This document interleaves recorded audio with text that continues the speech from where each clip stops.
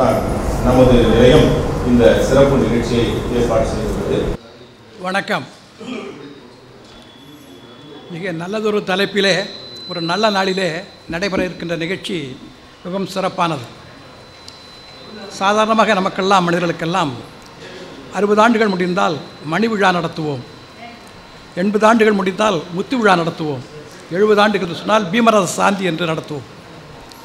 நமது நாடு இப்பொழுது இந்த மணிவிழாவை தாண்டி பீமரத சாந்தியில் இருக்கிறது. அதற்கு அடுத்து வைர விழா அடுத்து முத்து விழா இப்படி பல்வேறு விழாக்கள் நடைபெற இருக்கின்றன. எழுபது ஆண்டு நிறைந்திருக்கிறது. இதிலே என்ன சிறப்பு என்று சொன்னால் இதற்கு முன்னால் வரலாற்றை சில ஏடுகளை திருப்பி பார்க்க வேண்டியிருக்கிறது. ஆயிரத்தி தொள்ளாயிரத்தி நாற்பத்தி ஏழு வரையிலே நம்ம நாட்டுக்கு சுதந்திரம் அடையுமா அடையாதா என்ற ஒரு சந்தேக பார்வை எல்லாரிடத்திலும் இருந்தது. ஆனால் ஆயிரத்தி தொள்ளாயிரத்தி நாற்பத்தைந்தில் பிரிட்டனிலே இருந்த கொடிகட்டி பறந்த வின்ஸ்டன் சர்ச்சில் சார்ந்திருந்த இந்த கன்சர்வேட்டிவ் கட்சியானது தோற்றது. அவரும் தோற்றார். ஆயிரத்தி தொள்ளாயிரத்தி நாற்பத்தைந்தில். நாற்பத்தைந்தில் சோசியலிஸ்ட் கட்சியான கிளமண்ட் அட்லி என்பவர் தலைமையேற்றிருக்கின்ற சோசியலிஸ்ட் கட்சி ஆட்சிக்கு வந்தது. ஒரு ஆட்சிக்கு வந்தவுடனே பதினெட்டு ரெண்டு ஆயிரத்தி தொள்ளாயிரத்தி நாற்பத்தி ஏழிலே ஒரு அறிக்கையை அவர் சமர்ப்பித்தார். மேன்மை தங்கிய இந்த மன்னர் ஆட்சியின் கீழே இருக்கின்ற இந்த பாராளுமன்றம் இந்தியாவிற்கு ஆயிரத்தி தொள்ளாயிரத்தி நாற்பத்தி எட்டுக்கு முன்பாகவே அவரிடத்திலே ஆட்சி பொறுப்பை ஒப்படைத்துவிட்டு நாங்கள்லாம் வெறியாடி விடுவோம் என்று ஒரு அறிக்கை தாக்கல் செய்தார். அதை கேட்டவுடனே மிக சிறப்பான முறையிலே கொடிகட்டி பிறந்த வின்ஸ்டன் சர்ச்சில் அழ ஆரம்பித்து விட்டார். அவர் சொன்னார் பிரிட்டிஷ் சாம்ராஜ்யத்தினுடைய அனைத்து பெருமைகளையும் பிரிட்டிஷ் சாம்ராஜ்யம் மனித குலத்தில் செய்த அனைத்து சேவைகளையும் இப்பொழுது சடார் என்று சரிந்து விழுகின்ற காட்சியை என் கண்மலாலே பார்ப்பதற்கு நான் ஆழ்ந்த வருத்தப்படுகிறேன் என்று சொல்லி அவர் அழுதார். அவர் இந்த இரண்டாவது உலக மையத்துவத்தில் இந்த பிராங்க்லின் ரூல்ஸ்வெஸ்ட் போன்றவர்களெல்லாம் சேர்ந்து மிகப்பெரிய ஒரு செல்வாக்கான பெற்றை பெற்றிருந்தவர். அவர் அழுத பொழுது எல்லாரும் ஒரு மாதிரியாக பார்த்தார்கள். அதற்கு பின்னாலே அவர் சொன்னார் அவர்தான் காந்தியடிகளை அரைநிர்வாண பக்ரி என்று வர்ணித்தவர். இந்தியாவில் இருக்கின்ற அத்தனை தலைவர்களும் சோழக்கலை பொம்மை என்று அவர் வர்ணித்தார். அவர் மேலும் சொன்னார் இந்தியர்களுக்கு அவர் நாட்டை ஆளத் தெரியாது. அவர்கள் நாட்டை சின்னாபண்ணப்படுத்தி விடுவார்கள். அப்படி என்றெல்லாம் வருத்தப்பட்டார். அது ஆயிரத்தி தொள்ளாயிரத்தி நாற்பத்தி ஏழில் பிப்ரவரி மாதத்திலே சொன்ன வார்த்தைகள். ஆயிரத்தி தொள்ளாயிரத்தி நாற்பத்தி ஏழு ஆகஸ்டிலே சிறிது காலம் தள்ளி இருந்தால் நாற்பத்தெட்டுலே நடைபெற்றிருக்கக்கூடும் இந்த சுதந்திரம். ஆனால் இடையிலே முகமது அலி ஜின்னா கொடுத்த நெருக்கடியினாலே நாற்பத்தி ஏழிலே இந்த நாடு சுதந்திரம் பெற்றது. அவர் சொன்னது போல உலகத்தினுடைய மிகப்பெரிய நாடு ஜனநாயக நாடு மக்களாட்சி நாடு இந்தியா. இன்றைக்கு நூற்றி முப்பது கோடி மக்கள் இருக்கிறார்கள். இதில் பதினெட்டு வயசை அடைந்தவர் அத்தனை பேருக்கும் வாக்குரிமை உண்டு. உலகத்திலே எங்கும் காண கிடைக்காத அதிசயம். அவர் சொன்னது போல சீனா நிலப்பரப்பிலே பல மடங்கு பெரியதாக இருந்தாலும் கூட மக்கள் பரப்பிலே இது ஒன்றும் சளைத்ததல்ல. நூற்றி முப்பது கோடி மக்கள். இந்த கடந்த ஒன்றாம் தேதி அறுபத்தி ஏழாயிரத்தி சொச்சம் குழந்தைகள் இந்த தேசத்திலே பிறந்திருக்கிறார்கள். இந்தியாவிலே. அதுதான் முதலிடம் எவ்வளோ பெரிய இனப்பெருக்கம் நடத்திருக்கிறது என்று பாருங்கள். அதைத்தான் அப்பேற்பட்ட நாட்டிலே பதினெட்டு வயசு மேற்பட்ட அத்தனை பேருக்கும் வாக்குரிமை. இதிலே புரட்சி இல்லை வன்முறை இல்லை பெரிய விதமான சங்கடம் எதுவும் இல்லாமல் நேர்மையாகவே நடைபெற்ற தேர்தல் என்று பாராட்டப்பட்டது. அது நாற்பத்தேழில் தொடங்கி ரெண்டாயிரத்தி வரை நடந்து கொண்டிருக்கிறது. இதற்கெல்லாம் அடிப்படையில் பார்த்தோம் என்று சொன்னால் நமது பிற்கால சோழர்கள் காலத்திலே குடியாட்சி முறையிலே குடவரை தேர்வு முறை நடந்திருக்கிறது. உத்திரமேரூர் கல்வெட் அதை சான்று பகிர்கிறது. தோட்ட வாரியம் பொன் வாரியம் அடுத்தது ஏ பராமத்து வாரியம் என்றெல்லாம் பல வாரியங்களாக பிரித்து இந்த வாரிய தலைவர்களுக்கெல்லாம் வேட்பாளர்களுக்கு என்ன விதமான தகுதிகள் இருக்க வேண்டும் என்பதை வரையறை செய்யப்பட்டு இங்கே தேர்தல் முறை நடத்தப்பட்டிருக்கிறது. ஆயிரம் ஆண்டுகளுக்கு முன்னாலேயே கூட. ஆகவே இந்த நாடு நம்மை பொறுத்தவரை இப்பொழுது எல்லா நாடுகளும் வேந்து நோக்குகின்ற ஒரு மக்களாட்சி தத்துவம் இந்த நாட்டிலே நடைபெற்று கொண்டிருக்கிறது. இதைத்தான் இங்கே பேச இருக்கின்ற மதிப்பிற்குரிய முனைவர் இளங்கோ அவர்கள் மிக சிறப்பாக அது பற்றி மேதுநிலை வைக்கும் மக்களாட்சி மதிப்பில் பேசுகிறார். இந்த தலைப்புகளில் பார்த்தால் ஒரு பொருள்தான். ஒரு பொருளுக்கு ஐந்து விதமான சொற்கொள்களை தேர்ந்து செய்திருக்கிறார்கள். அவருடைய சொல்லாட்சியை பாராட்ட வேண்டும். மக்களாட்சி மேதினி என்பதும் மேதினி என்பதும் ஞானம் என்பதும் உலகு என்பதும் பார் என்பதும் நாளிலம் என்பதும் ஒரே பொருளைத்தான் குறிக்கும்.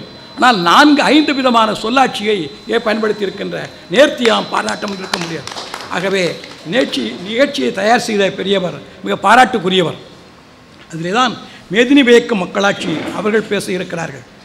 அதற்கடுத்து உலகம் ஞானம் போற்று விஞ்ஞானம். உண்மையிலேயே ஒரு விஞ்ஞானி வந்திருக்கிறார். ஓய்வு பெற்றவர் அல்ல. உண்மையிலே விஞ்ஞானி. விஞ்ஞானிகளுக்கெல்லாம் அறிவு பெற்றவர்களாம் ஓய்வு என்பது இல்லை. ஒரு அடையாளச் சீட்டு தான். அரசிலே வேலை பார்த்தீர்கள் அடையாளச் சீட்டு அவ்வளோதான் ஆனால் என்றைக்கும் அவர் விஞ்ஞானி தான். அந்த வகையிலே பார்க்கின்ற பொழுது மிகச் சிறப்பான ஒரு விஞ்ஞானி வந்திருக்கிறார். எளிமையும் வாய்மையும் ஒரு சேர பெற்றவர் அவர். அவரர் என்ன காரணம் என்று சொன்னால் ஞானம் போற்று விஞ்ஞானம். நமது விஞ்ஞானம் இருக்கிறதே. இரண்டு நாட்களுக்கு முன்னாலே கூட ஒரு தினமணியிலே ஒரு பெரிய கட்டுரை நடுப்பக்க கட்டுரை எழுதியிருக்கிறார். விஞ்ஞானம் கணிதம் இல்லை என்று சொன்னால் விஞ்ஞானம் இல்லை கணிதம் தான் அடிப்படை விஞ்ஞானத்திற்கு. இந்த கணிதத்தை கண்டுபிடித்ததற்கு பூஜ்ஜியம் மிக சிறப்பான ஒரு இடத்தை பெற்றிருக்கிறது. இந்த பூஜ்ஜியத்தை கண்டுபிடித்தவர்கள் மூதாதையர்கள் இந்தியர்கள் தான். இந்த பூஜ்ஜியத்தை கண்டுபிடித்தவர்கள் மூதாதையர்கள் நம்ம இந்தியர்கள் தான். ஆகவே விஞ்ஞானத்தினுடைய அடிப்படையை கண்டுபிடித்தவர்கள் தான் நாம்.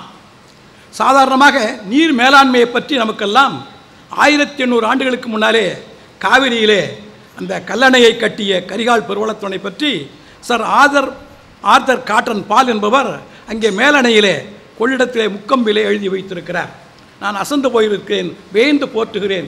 இப்பேற்பட்ட ஒரு கல்லணையை இந்த தேசத்திலே ஆயிரத்தி எண்ணூறு ஆண்டுகளுக்கு முன்னாலே கட்டியிருக்க முடியும் என்று சொன்னால் இந்த நாட்டினுடைய தொழில்நுட்பத்தை இந்த விஞ்ஞான மேலாண்மையை நீரின் மேலாண்மையை எப்படி வேந்து போற்று என்று அவரை பாராட்டியிருக்கிறார்.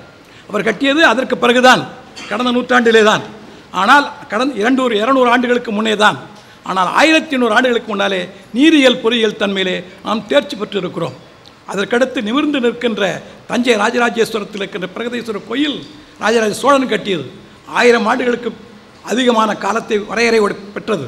அது இன்றைக்கும் கூட கருங்கல் அதை பார்த்த என்ன அதிசயம் என்று சொன்னால் தஞ்சை மாவட்டத்திலே தஞ்சையிலிருந்து இப்படி அப்படி என்று நான்கு திசையிலும் எழுபது எண்பது கிலோமீட்டருக்கு மலைகளே இல்லை. மலைகள் இல்லாத இடத்திலே எழுபது எண்பது கிலோமீட்டருக்கு மலையே இல்லை. ஒரு கண்கள் கூட பார்க்க முடியாது. எல்லாம் வண்டல் மண் படிந்த காவிரி வண்டல் மண் படித்த நிலம்தான். அந்த இடத்திலே அதை ஆயிரம் ஆண்டுகளுக்கு முன்னாலே எப்படி கொண்டு வந்தான்? எந்த விதமான விஞ்ஞான பொறியியல் சாதனங்களும் இல்லாத காலத்திலே கூட அவன் இரநூத்தி எழுபது அடிக்கு உயரத்திலே ஒரு கல்லை நிர்மாணித்து அந்த கோயிலை கட்டியிருக்கிறான். அது ஒரு பொறியியலுக்கு அதை விட சாட்சி வரும்னு சொல்ல முடியாது. அதே போல தான் இங்கே இருக்கிற நாசிக் மாவட்டத்திலே மகாராஷ்டிரத்திலே இரண்டாயிரத்தி முந்நூறு ஆண்டுகளுக்கு முன்னரே அந்த பாறைகளை எல்லாம் குடைந்து இரநூத்தி நாற்பது அடி உயரத்திலே இரநூத்தி எழுபத்தாறு அடி நீளத்திலே மொத்தம் இருபத்தி ஒன்பது குகைகள் அல்லோ எல்லோரா அஜெண்டா என்றதெல்லாம் அதை கேப்டன் ஜான் ஸ்மித் என்பவன் பிரிட்டிஷ் ராஜ்யத்தினுடைய குதிரைப்படை கேப்டனாக இருந்தவன். அவன் புலி வேட்டைக்கு செல்கின்ற பொழுதை கண்டுபிடித்தான். இதை கண்டுபிடித்தது இந்த ஆயிரத்தி எண்ணூற்றி முப்பதிலே தான் கண்டுபிடிக்கிறான். ஆனால் அது ரெண்டாயிரத்தி முந்நூறு ஆண்டுகளுக்கு முன்னாடியே இருந்தது. என்ன அதில் எந்த அதிசயம் என்று சொன்னால் பாறையை ஒரு மலையை எழுபது அடி உயரத்திற்கு இரநூத்தி நாற்பது அடி உயரத்திலே கட்டி முடிக்கிறான் சொன்னால் இருந்த கழிவுப் பொருட்கள் நாற்பதாயிரம் டன் இன்றைக்கு மதிப்பிட்டிருக்கிறார்கள். நாற்பதாயிரம் டன் கல் சிதறல்களை எல்லாம் எடுத்து எங்கே கொண்டு போனான் இப்பொழுது குச்சியிலே ஒரு மாபெரும் கட்டடத்தை இடித்து விட்டோம். அதில் ஏற்படுகின்ற பாதிப்பு எவ்வளோ நாளைக்கு இருக்கும் என்று விஞ்ஞானிகள் கணித்திருக்கிறார்கள். அந்த அந்த ஏரியிலே கொண்டு கொட்டியிருக்கிறார்கள். பல இடங்களிலே சிதைவுகள் ஏற்பட்டிருக்கிறது. அவையெல்லாம் என்ன ஆகும் என்று பார்க்கின்ற பொழுது ரெண்டாயிரத்தி முந்நூறு ஆண்டுகளுக்கு முதல் குகை. அதற்கு பிறகு ஆயிரத்தி ஐநூறு வரை கட்டிக்கொண்டே இருக்கிறார்கள். அதிலே தான் யாகியான் பாகியான் யுவான் சிங் போன்ற சீன யாத்திரைகள்லாம் தங்கி இங்கே பௌத்த மத கோயில்கள் இந்து மத கோயில்கள் எல்லாம் இருக்கிறது. மன்னன் அவுரங்கசீப் பலமுறை படையெடுத்ததை அழிக்கலாம் என்று நினைத்தான். ஒரு காலம் இடிக்க முடியவே இல்லை. அற்பேற்பட்டதை கண்டுபிடித்த அந்த பொறியியல் சிற்பமெல்லாம் நம் நாட்டிலே இருந்திருக்கிறது. அதற்கடுத்து ஒரு பெரிய அதிசயம் என்னவென்று சொன்னால் கடந்த பத்தாம் தேதி ஜனவரி பத்தாம் தேதி தில்லையிலே அருத்ரா தரிசனம் நடைபெற்றது. இந்த ஆருத்ரா தரிசனம் என்பதை பற்றி பார்க்கும்போது சமய வழிபாடு என்று தோன்றும். அல்ல அடிப்படையிலே அது ஒரு விஞ்ஞானம் கலந்திருக்கிறது. காரணம் இந்த வான் விண்வெளியிலே குளிர்காலத்திலே ஒரு விண்கோள்கள் எல்லாம் ஒரு பிரகாசமாக தெரியும். அதில் மிக பிரகாசமாக தெரியக்கூடிய திருவாதிரை என்ற நட்சத்திரம். அதற்கு விண்ணிலே சொல்கிற பெயர் விண்வெளி ஆராய்ச்சியாளர் சொல்கிற பெயர் பீட்டிஸ் ஜீனல் பீட்டில் ஜீனியஸ் என்று பீட்டில் ஜிஎஸ் என்று சொல்வார்கள். பெட்டல் ஜிஎஸ் என்று சொல்வார்கள். அதைத்தான் இந்த ஒளி அந்த ஒளிமண்டல விண்மீன்கள் எல்லாம் இருக்கிறதே அது கோப்பு. அந்த கோப்பில் இருக்கிற மிக பிரபலமாக ஒளிர் விட்டு ஒளி கொடுத்து அந்த பேரை வைத்திருக்கார்கள். ஓரியாஸ் ஜீனி ஓரியாஸ் ஓரியானிஸ் என்று பெயர். ஆல்பா ஓரியானிஸ் என்று சொல்கிறார்கள். ஆல்பா ஓரியானிஸ் என்ற அந்த நட்சத்திர கூட்டத்திற்கு பெயர் வைத்திருக்கிறார்கள். இதை எப்பொழுது யார் கண்டுபிடித்தார் என்பதை பார்க்கின்ற பொழுது கிரேக்க நாட்டிலே அதை ஒரு வேட்டைக்காரன் வானத்திலே ஒரு தடியை வைத்துக்கொண்டு ஒரு கையிலே வலது கையிலே தடியை வைத்துக்கொண்டு இடது கையிலே ஒரு கேடயத்தை வைத்துக்கொண்டு நிற்பது போல ஒரு காட்சியை கிரேக்க நாட்டு இலக்கியங்களிலும் புராணங்கள் இதிகாசங்களிலும் காணப்படுகிறது. ஆனால் நம்ம நாட்டிலே அதை என்ன செய்கிறான்? இந்த வலது கையிலே ஒரு நட்சத்திரம் இடது கையிலே ஒரு நட்சத்திரம் இடையிலே மூன்று நட்சத்திரம் வலது காலிலே ஒரு நட்சத்திரம் இடது காலிலே ஒரு நட்சத்திரம் மொத்தம் ஏழு நட்சத்திரம். அது உடுக்கை வடிவத்திலே இருக்கிறதாம். இதை சிவபெருமானின் நடனமாக அவர்கள் அதை உருவகித்து அந்த ஆருத்ரா என்னைக்கு குளிர்காலத்திலே மிக பிரமாதமாக வெளிச்சம் போட்டு காட்டுகிறதோ அதைத்தான் திருவாதிரை என்று சொல்லி விழாவை ஆருத்ரா தரிசனம் என்று நடத்துகிறார்கள். இதை ஆல்பர்ட் அந்த ஆல் விஞ்ஞானி ஆல்பர்ட் ஐன்ஸ்டைன் சொல்கிறான் நாம் இந்தியர்களுக்கு நிறைய கடமைப்பட்டு இருக்கிறோம் அவன் சொல்கிறான் இந்தியர்களுக்கு நாம் மிகவும் கடமைப்பட்டிருக்கிறோம். பல்வேறு விஞ்ஞான உண்மைகளை நமக்கு முன்னாலே ஐரோப்பா தேசத்திற்கு முன்னாலே அவர்கள் புராணங்கள் இதிகாச வழியிலே கண்டுபிடித்திருக்கிறார்கள் என்று அவன் பாராட்டுகிறான். அப்பேற்பட்ட விஞ்ஞானத்தை பற்றி பேசுவதற்கு அந்த இஸ்ரோ விஞ்ஞானி இருந்தவர் சால பொருத்தமுடையவர் மிகச் சிறப்பாக பேசக்கூடியவராகவே அவர் விரிவாக பேசுவார் என்று சொல்லி அடுத்த வகைகளை பார்க்கின்ற பொழுது உலக விரும்பு தொழிற்களம் அவர் சொன்னார்கள் ஒன்றாவது இடம் ரெண்டாவது இடம் மூன்றாவது இடம் பட்டியலிட்டார்கள். அண்மையிலே உலக வங்கி ஒரு தரவரிசை பட்டியல் என்று வெளியிட்டிருக்கிறது.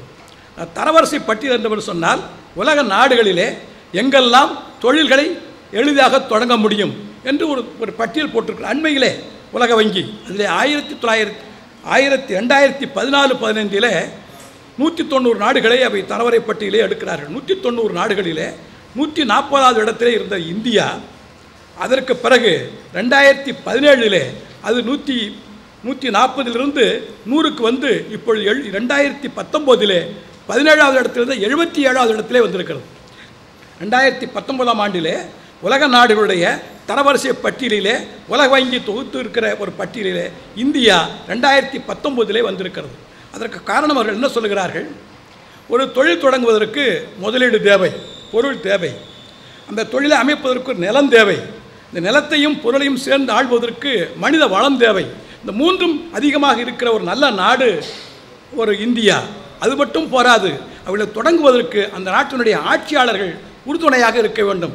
அங்கே ஊழல் இருக்கக்கூடாது மெத்தனம் இருக்கக்கூடாது விரைவான நடவடிக்கை இருக்க வேண்டும். அந்த வகையிலே இந்தியா இப்பொழுது எழுபத்தி ஏழாவது நூற்றி எழுபத்தி தொண்ணூறு நாடுகளிலே எழுபத்தி ஏழாவது இடத்தை பிரித்திருக்கிறது. இது உண்மை. இது உலக வங்கி கொடுத்திருக்கிற ரிப்போர்ட் நாம் எண்ணி பார்க்கிறோம். அமெரிக்காவில் இல்லாத தொழிற்சாலையா? அமெரிக்காவில் இருக்கிற ஃபோர்டு இங்கே வந்து விட்டது ஐரோப்பியாவில் இருக்கின்ற வேக்ஸ் வேகன் டாடா பென்ஸ் இன்னும் பல்வேறு கார் தொழிற்சாலைலாம் இங்கே வந்து விட்டது தென்கிழக்கு ஆசிய நாட்டில் இருக்கிற கொரியா ஜப்பான் போன்ற நாடுடைய தொழிற்சாலைகள்லாம் இங்கே வந்து விட்டது. ஆனால் அதுக்கு பல்வேறு காரணங்கள் இருக்கலாம். ஆனால் அடிப்படையிலே இன்னும் பல காரணங்களிலே இந்த மூன்று காரணிகள் மிக முக்கியமானது. உற்பத்தி செலவுகளை பொறுத்தவரை மிக குறைவு. அவர்கள் கொடுக்குற ரூபாய்க்கு இந்திய நாணய மதிப்பு அதிகமாக கொடு ஆனால் ஒரு காலத்திலே இரநூறு ரெண்டாயிரத்தி ஆயிரத்தி எழுநூறு ஆண்டுகளுக்கு முன்னாலே இந்தியாவிலிருந்து ஒரு கப்பல் வெளிநாட்டுக்கு செல்கின்ற பொழுது இங்கிருந்து பொருட்களை ஏற்றுமதி சென்று இந்த மேலைநாட்டு கடற்கரை இறக்குமா? ஆயிரத்தி எழுநூறு ஆண்டுகளுக்கு முன்னாலே. படிப்படியாக இப்பொழுது மலைநாட்டிலிருந்து பொருட்களை இறக்குகின்ற நாடாக மாறிவிட்டது. அதுக்கு ஒரே ஒரு உதாரணம் இந்த நாட்டில் இருந்த பருத்தியை நாம் நெய்து ஆடைகள் ஆக்கி அங்கே டக்கா மஸ்லின் என்று சொல்லப்படுகிற வேட்டியெல்லாம் நெய்து இங்கு பிரிட்டிஷ் மகாராணிகள் போடுகிற எல்லா விதமான உடுப்புகளெல்லாம் இங்கே தயார் செய்து கப்பலில் ஏற்றுமதி செய்யணும் ஆயிரத்தி எழுநூறுக்கு முன்னால். அதற்கு பிறகு அவனுடைய தொழில் புரட்சி ஏற்பட்ட பிறகு இங்கிலாந்தில் அவன் அங்கே அந்த கைத்தறிவை நெசுவாக மாற்றி மெல்லாக மில் அந்த எந்திரங்களை கொண்டு செய்கின்ற பொழுது வெறும் பருத்தி மட்டும் ஐப்பினால் போரும் என்று சொன்னான். அதுக்கெல்லாம் வெறும் பருத்தி ஏற்றுமதி பண்ணணும் அந்த பருத்தி எடுத்துக்கொண்டு கிளாஸ்கோ லெங்காஷியர் மான்செஸ்டர் போன்ற நகரங்களிலே அவையெல்லாம் அவன் துணியாக ஆக்கினான். அங்கிருந்து வருகின்ற துணியை அவன் கிளாஸ்கோ மலர்ந்து கட்டி கொண்டு மகிழ்ந்தான். இங்கே இருக்கிறவன் ஆகவே ஒரு காலத்திலே வெறும் பொருளை ஏற்றி அனுப்பிய நாடு பிறகு கச்சா பொருளை அனுப்பிய நாடு பிறகு பொருளை ஏற்றுமதி பண்ணி போய் இறக்குமதி பண்ணுகிற நாடாக வெள்ளையர்கள் காலத்திலே மாறியது. தரங்கம்பாடியிலிருந்து டென்மார்க்குக்கு செல்கின்ற கோபன்காக நகட்டில் ஒரு ஊரிலே இந்த போர்ட் துறைமுகத்து பக்கத்தில் ஒரு ரோடு இருக்குது. இந்தியா கஞ்ச் என்று ஒரு சாலை அமைத்திருக்கிறான். அங்கே ஒரு துறைமுகம் இருக்கிறது. தரங்கம்பாடியிலிருந்து ஒரு கப்பல் செல்லுவான் தரங்கம்பாடியிலிருந்து எல்லா விதமான வாசனை திரவியங்கள் இருக்கின்ற எல்லா விதமான ஸ்பைசஸ் என்று சொல்லப்படுகிற எல்லா விதமான மசாலா பொருட்கள் எல்லாம் இந்த கப்பலிலே சென்று டென்மார்க்கிலே கோபன்கேகன் இடத்திலே இறக்கி அந்த இந்தியா கஞ்சி துறைமுகத்திலே அதை எல்லாருக்கும் விநியோகம் செய்வார்களாம் இன்றும் அந்த பேர் அங்கே இருக்கிறது. ஆகவே ஒரு காலத்திலே ஏற்றுமதி செய்த நாடு இப்பொழுது இறக்குமதி செய்கின்ற நாடு மாறி இப்பொழுது மீண்டும் இங்கே நூற்றி தொண்ணூறாவது இடத்திலிருந்து நூற்றி எழுபத்தி ஏழு இடத்துக்கு வந்திருக்கு என்பது நாம் பாராட்டுகலாம். அந்த வகையில் மிகச்சிறந்த பொருளாதார மேதையாக இங்கே இருக்கின்ற மெர்சிலின் மேரி கிருஷ்ணன் அவர்கள் பேச இருக்கிறார்கள் விரிவாக பேசுவார்கள். அதற்கடுத்து படைவெல்லும் பார்வெல்லும் படைத்தரம். அவர் சொன்னது போல இந்தியா இன்னைக்கு உலகத்திலேயே நான்காவது ஒரு இராணுவ வலிமை மிக்க நாடாக இருக்கிறது. ஆயிரம் ஆண்டுகளுக்கு முன்னாலே ராஜேந்திர சோழன் இந்த தென்கிழக்கு சீமையெல்லாம் வென்றிருக்கிறார்.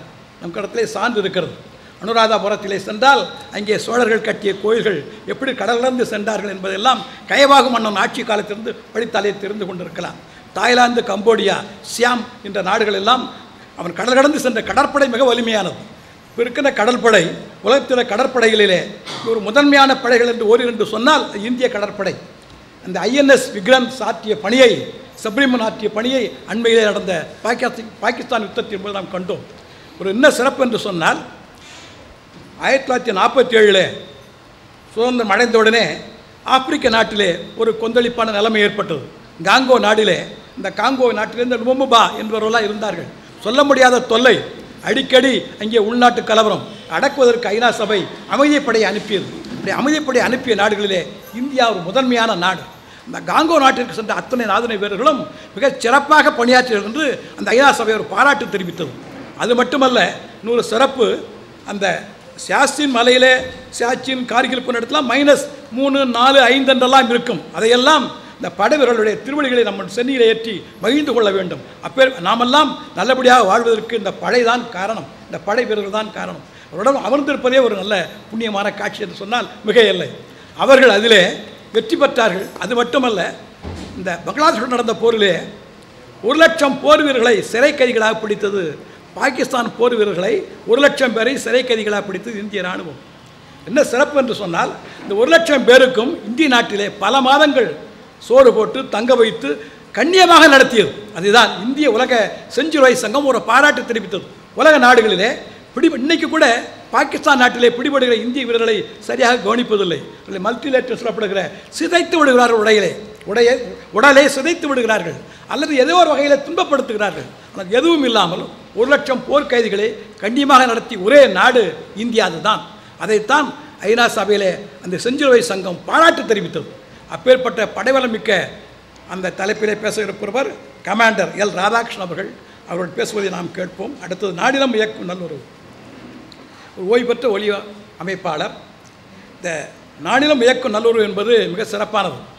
இரண்டாவது உலக மகாயுத்தம் முடிந்த பொழுது ஆயிரத்தி தொள்ளாயிரத்தி நாற்பத்தி ரெண்டுக்கு பிறகு உலக நாடுகள் எல்லாம் ரெண்டு அணிகளை திரண்டன. ஒன்று ரஷ்யா பக்கம் இன்னொன்று அமெரிக்கா பக்கம். ஒன்று சோசியலிச நாடு இன்னும் கம்யூனிச நாடு பொது உடைமை தத்துவம். ருமேனியா பல்கேரியா இப்படி கஜகஸ்தான் இப்படி ரஷ்யா எல்லாம் சீனா எல்லாம் ஒரு பக்கம். அடுத்த நாடுகள் எல்லாம் பிரிட்டன் பிரான்ஸ் போன்றவைகள் எல்லாம் பிரான்ஸ் சேரவில்லை. பிரிட்டன் போன்ற நாடுகள் எல்லாம் அமெரிக்கா பக்கம் சேர்ந்தன. அப்பொழுது ஏறத்தாழ அப்போ நூறு நாடுகளுக்கு மேலே என்ன செய்வது என்று தெரியவில்லை. இந்த சந்தர்ப்பத்திலே தான் பண்டித நேரு அவர்களும் பிரெஞ்சு அதிபர் டீகால் அவர்களும் யுகோஸ்லேயா அதிபர் டிட்டோர் மார்ஷல் டிட்டோ அவர்களும் அதற்கடுத்து இந்தோனேஷிய அதிபர் சுகர்ணா அவர்களும் சேர்ந்து ஒரு பஞ்சசீல கொள்கையை என்று ஏற்படுத்தி அணிசாரா கொள்கை என்று ஒரு சூழ்நிலை உண்டு பண்ணினார்கள். அதுவரை அந்த ஐநா சபை கூட இந்த இரு நாடுகளைத்தான் அங்கீகரித்திருந்தன. ரஷ்யா பக்கம் சார்ந்த நாடுகளையும் அமெரிக்க நாடுகளை சார்ந்தகளையும் அவங்க அங்கீகரித்திருந்தன. மூன்றாவது தரப்பிலே ஒரு நாடு அணிசேரா கொள்கை நாடுகள் என்று ஒரு புதிய அத்தியாயத்தை தொடங்கினார்கள். அதற்கு முக்கிய காரணம் பண்டித நேரு அவர்கள்.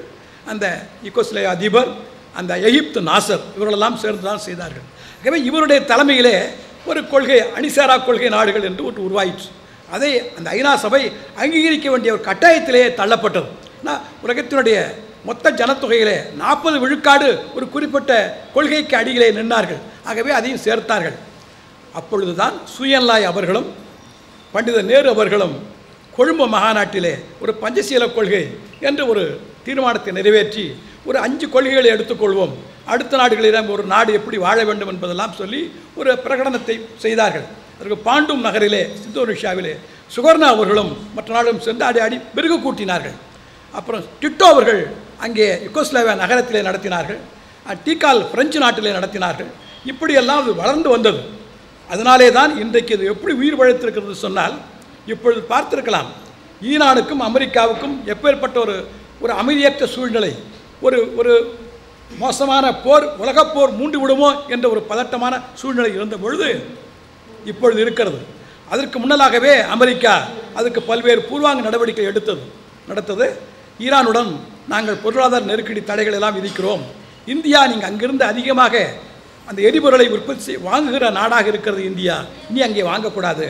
டாலருக்கு உபயோகப்படுத்தக்கூடாதெல்லாம் பொருளாதார தடைகளை விதித்தார்கள் அமெரிக்கர்கள். அது பாரத பிரதமர் நரேந்திர மோடி அவர்கள் சாதுரியமாக இந்த ஈரானிய நாட்டுடன் சேர்ந்த ஒரு வர்த்தக நல்ல உறவின் காரணமாக அவர்கள் இந்திய ரூபாயிலேயே ஈரானுடைய எரிபொருளை கொடுப்பதாக ஒத்துக்கொண்டார்கள். அதில் அமெரிக்கா திகைத்து போய்விட்டது. வேறு வழியில்லாமல் அவர் போட்ட தடையை அந்த பொருளாதார தடையை அதிலிருந்து இந்தியாவை விலக்கி விட்டது அமெரிக்கா. ஆகவே இப்பொழுது நாம் ஈரானிடந்து எரிபொருளை சர்வசாதாரணமாக பெற்றுக்கொண்டிருக்கிறோம் அண்மையிலே கடந்த வாரத்திலே கூட ஈரானிய வெளியுறவு அமைச்சர்கள் டெல்லியிலே நடந்த ஒரு கூட்டத்தில் பேசுகின்ற பொழுது இந்தியா இந்த எங்களுக்கும் அமெரிக்காவில் இருக்கின்ற சண்டையை நீக்கி ஒரு சமாதான நடவடிக்கை எடுக்குமானால் நாங்கள் அது கூட ஒத்துழைக்கிறோம். இந்தியா அதுக்கு முன்வர வேண்டும் என்று கேட்டுக்கொண்டிருக்கிறோம் ஆகவே இப்பேற்பட்ட நிலையிலேயும் ஈரான் கூடவையும் அமெரிக்கா கூடவும் ஒரு நல்லுறவை ஒரு ஒரு சமாதான நிலையை ஏற்படுத்துகின்ற சூழ்நிலை இந்திய நாட்டிற்கு இருக்கிறது. ஆகவே இந்தியாவுடைய வெளிநாட்டு கொள்கை இப்பொழுது இந்த காஷ்மீர் பிரச்சனையை பொறுத்தவரை ஓரிரு நாடுகள் தான் பாகிஸ்தானை ஆதரித்தன. கிட்டத்தட்ட எழுபது எண்பது இஸ்லாமிய நாடுகள் இந்தியாவைத்தான் ஆதரித்தன. இதுதான் பாகிஸ்தானுடைய வெளியுறவு அமைச்சர் சொன்னார்.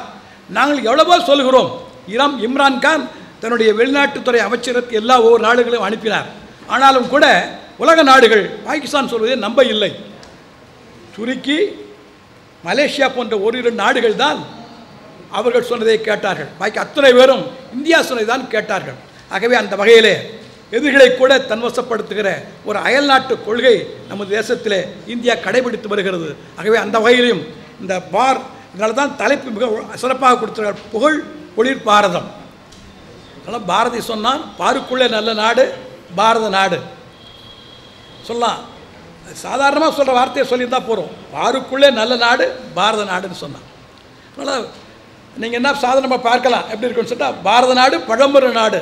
நீரதன்பதோர் இன்னும் நினைவகற்றாதீர்னா. அதனால் பற்ற தாய் காட்டிலும் பிறந்த பொன்னாடு நற்றவாணின்னு நனி சிறந்தனவே என்றான். இப்பேற்பட்ட பாரதம் வந்து பல வகையிலே ஒளிர் படைத்த நிலையிலே இருக்கிறது. ஆகவே இந்த பாரதம் சிறப்பாக இருப்பதற்கு இந்த தலைப்பிலே அவர் சொல்லுது போல நிறைய தலைப்புகள் கொடுக்கலாம் நிறைய நீண்ட நேரம் பேசலாம். ஆனாலும் கூட ஒரு கால அமைப்புக்கு உட்பட்ட வகையிலே பேச என்பதற்காக ஐந்து தலைப்புகளை பொருத்தமாக ஒரு ஐந்து காப்பிகள் போல கொடுத்திருக்கிறார்கள். ஆகவே அந்த காப்பி ஆசிரியர்களெல்லாம் இங்கே வந்திருக்கிறார்கள். அவர்களை பேச அழைக்கிறேன். முனைவர் நான் இளங்கோ கல்லூரி முதல்வர். வருகை புரிந்திருக்கிற சுவைஞர்களே உங்கள் அனைவருக்கும் என்னுடைய இனிய காலை வணக்கம். மேதினி வியக்கும் மக்களாட்சி என்கிற தலைப்பில் என்னுடைய கருத்துரையை நான் வழங்க இருக்கிறேன். பொதுவாக ஒரு நாடு எப்படி இருக்க வேண்டும் என்பதற்கான இலக்கணத்தை இன்று நேற்றல்ல ஈராயிரம் ஆண்டுகளுக்கு முன்போ அதற்கு முன்போ சற்றேறக்குறைய ஒரு மூவாயிரம் ஆண்டு கால சிந்தனை மரபை உடையவர்கள் நாம். நாடு என்கிற அமைப்பு பிற்காலத்திலே தோன்றியது என்றாலும் கூட ஈராயிரம் ஆண்டுகளுக்கு முன்பு எழுதப்பட்ட திருக்குறள் சொல்லியது ஒரு நாடு எப்படி இருக்க வேண்டும் என்று சொன்னால் நாடு என்ப நாடா வளத்தன நாடு அல்ல நாட வளம் தரும் நாடு என்று எழுதி சொன்னது. என்ன பொருள் என்று சொன்னால் ஒரு நாடு என்றால் அது தன்னிறைவு பெற்றதாக இருக்க வேண்டும். எதற்கும் எவரிடத்தும் எங்கும் கையேந்தி நிற்க வேண்டிய நிலையில் இல்லாததாக இருக்க வேண்டும். நாடு என்ப நாடா வளர்த்தன யாரையும் போய் எதற்காகவும் நாடக்கூடிய தேவை அந்த நாட்டுக்கு இருக்கக்கூடாது. அப்படி இருக்கிற நாடு தான் மிகச்சிறந்த நாடு என்று திருவள்ளுவர் எழுதி காட்டினார்.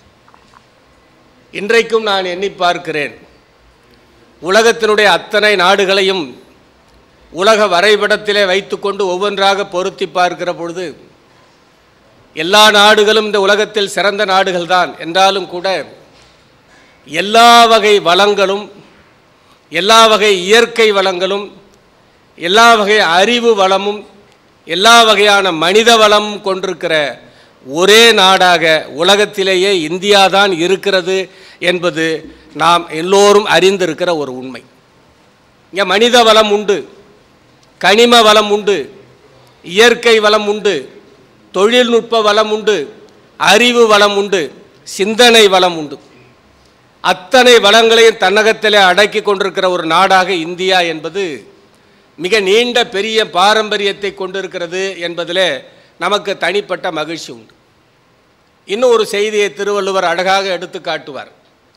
ஒரு நாடு எப்படி இருக்க வேண்டும் என்பதற்கு அவர் சொன்னதோடு மட்டுமில்லை ஒரு நாட்டிலே எது எதெல்லாம் இருக்கக்கூடாது என்று அவர் பேசினார். எது நாடு என்பது ஒரு சிந்தனை. ஒரு நாட்டில் எது இருக்கக்கூடாது என்பது மற்றொரு சிந்தனை. உரு பசியும் ஓவா பிணியும் செரு பகையும் சேராது இயல்வது நாடு என்று அவர் பேசினார். ஒரு நாட்டில் எது இருக்கக்கூடாது என்று சொன்னால் பசி இருக்கக்கூடாது. ஒரு நாட்டில் எது இருக்கக்கூடாது என்று சொன்னால் பிணி இருக்கக்கூடாது. ஒரு நாட்டில் எது இருக்கக்கூடாது என்றால் பகை இருக்கக்கூடாது. இந்த பசி பிணி பகை இதை மூன்றையும் ஒழித்து கட்டி ஒரு தேசத்தை உயர்ந்த நிலையிலே கொண்டு போய் நிறுத்தக்கூடிய நாடு எதுவோ அந்த நாடு தான் உலகத்திலேயே தலை சிறந்த நாடு என்று பேசினார். ஆங்கிலேயர்கள் நம்மை ஆட்சிப்படுத்துவதற்கு முன்பு ஆங்கிலேயர்கள் நம்மை அடிமைப்படுத்துவதற்கு முன்பு இந்தியா பல்வேறு சமஸ்தானங்களாக பல்வேறு அரசாட்சிக்கு உட்பட்டதாக பல்வேறு இனக்குழுக்களாக பிரிந்து சிதறுண்டு கிடந்த பொழுது வணிகம் செய்ய வந்த அந்த வெள்ளைக்கார அரசு இதை ஒரு நாடு என்கிற கட்டமைப்புக்குள்ளே கொண்டு வந்தது. இதை ஒரு தேசமாக மாற்றியது. இந்த தேசத்தை அவர்கள் தங்களுடைய கையிலே வைத்துக்கொண்டு ஆட்சி நடத்தி கொண்டிருந்தார்கள். தேசத்திற்கான விடுதலை போராட்டங்கள் எழுந்தன. இம்மென்றால் சிறைவாசம் ஏனென்றால் வனவாசம் என்று இருந்த காலத்தில் இந்த உயிரை கூட துச்சமாக மதித்து கண்ணீர் விட்டோ வளர்த்தோம் சர்வேசா இப்போயிரை கண்ணீரால் காத்தோம் என்று சொல்லி இந்த தேசத்திற்காக இன்னுயிரை தந்து போராடிய பல்லாயிரக்கணக்கான சுதந்திர போராட்ட வீரர்கள் தலைவர்களுடைய அரும்பாடுபட்ட உழைப்பினுடைய விளைவாக நமக்கு சுதந்திர நாடு என்பது கிடைத்த பொழுது நமக்கு சுதந்திரம் கொடுக்க விரும்பிய பிரிட்டிஷ் அரசாங்கம் சொன்னது இந்த நாட்டிற்கு மக்களாட்சியை வழங்கினால் அந்த மக்களாட்சியை நடைமுறைப்படுத்துவதற்குரிய அறிவும் ஆற்றலும் இந்தியர்களுக்கு கிடையாது என்று அதுபோல் கருதினார். இவர்களுக்கு அவ்வளவு அறிவு கிடையாது. தன்னை நிர்வகித்துக் கொள்ளக்கூடிய திறமை கிடையாது. எனவே இவர்களிடத்திலே ஆட்சியை எப்படி ஒப்படைப்பது என்று அவர்கள் தயங்கி நின்ற பொழுது இந்தியாவினுடைய மிகச்சிறந்த தலைவர்கள் ஆகச்சிறந்த தலைவர்கள் எல்லாம் இந்தியாவினுடைய பெருமை எடுத்துக்காட்டி இந்திய மக்களினுடைய அறிவார்ந்த பண்பாட்டு வரலாற்றை எடுத்துக்காட்டி எங்களால் எங்களை ஆட்சி செய்து கொள்ள முடியும் என்கிற நம்பிக்கையை ஊட்டிய பொழுது இந்த இந்தியாவில் இருக்கிற அத்தனை குடிமக்களுக்கும் வாக்குரிமை தர வேண்டும் என்று நம்ம இந்திய நாடு விரும்பியது. அப்போது ஆங்கிலேயர்கள் சொன்னார்கள் அவ்வளவு பக்குவம் இங்கே இருக்கிறவர்களுக்கு கிடையாது. எனவே யோசனை செய்து சொல்லுங்கள் என்று சொன்னார். இங்கே நம்முடைய அருமை தலைவர் அவர்கள் அழகாக ஒரு செய்தியை குறிப்பிட்டார். சற்றேறக்குறைய ஆயிரம் ஆண்டுகளுக்கு முன்பு உத்தரமேரூர் என்கிற ஊரிலே ஆட்சி செய்த பராந்தக சோழன் என்கிற ஒரு சோழ மன்னன்.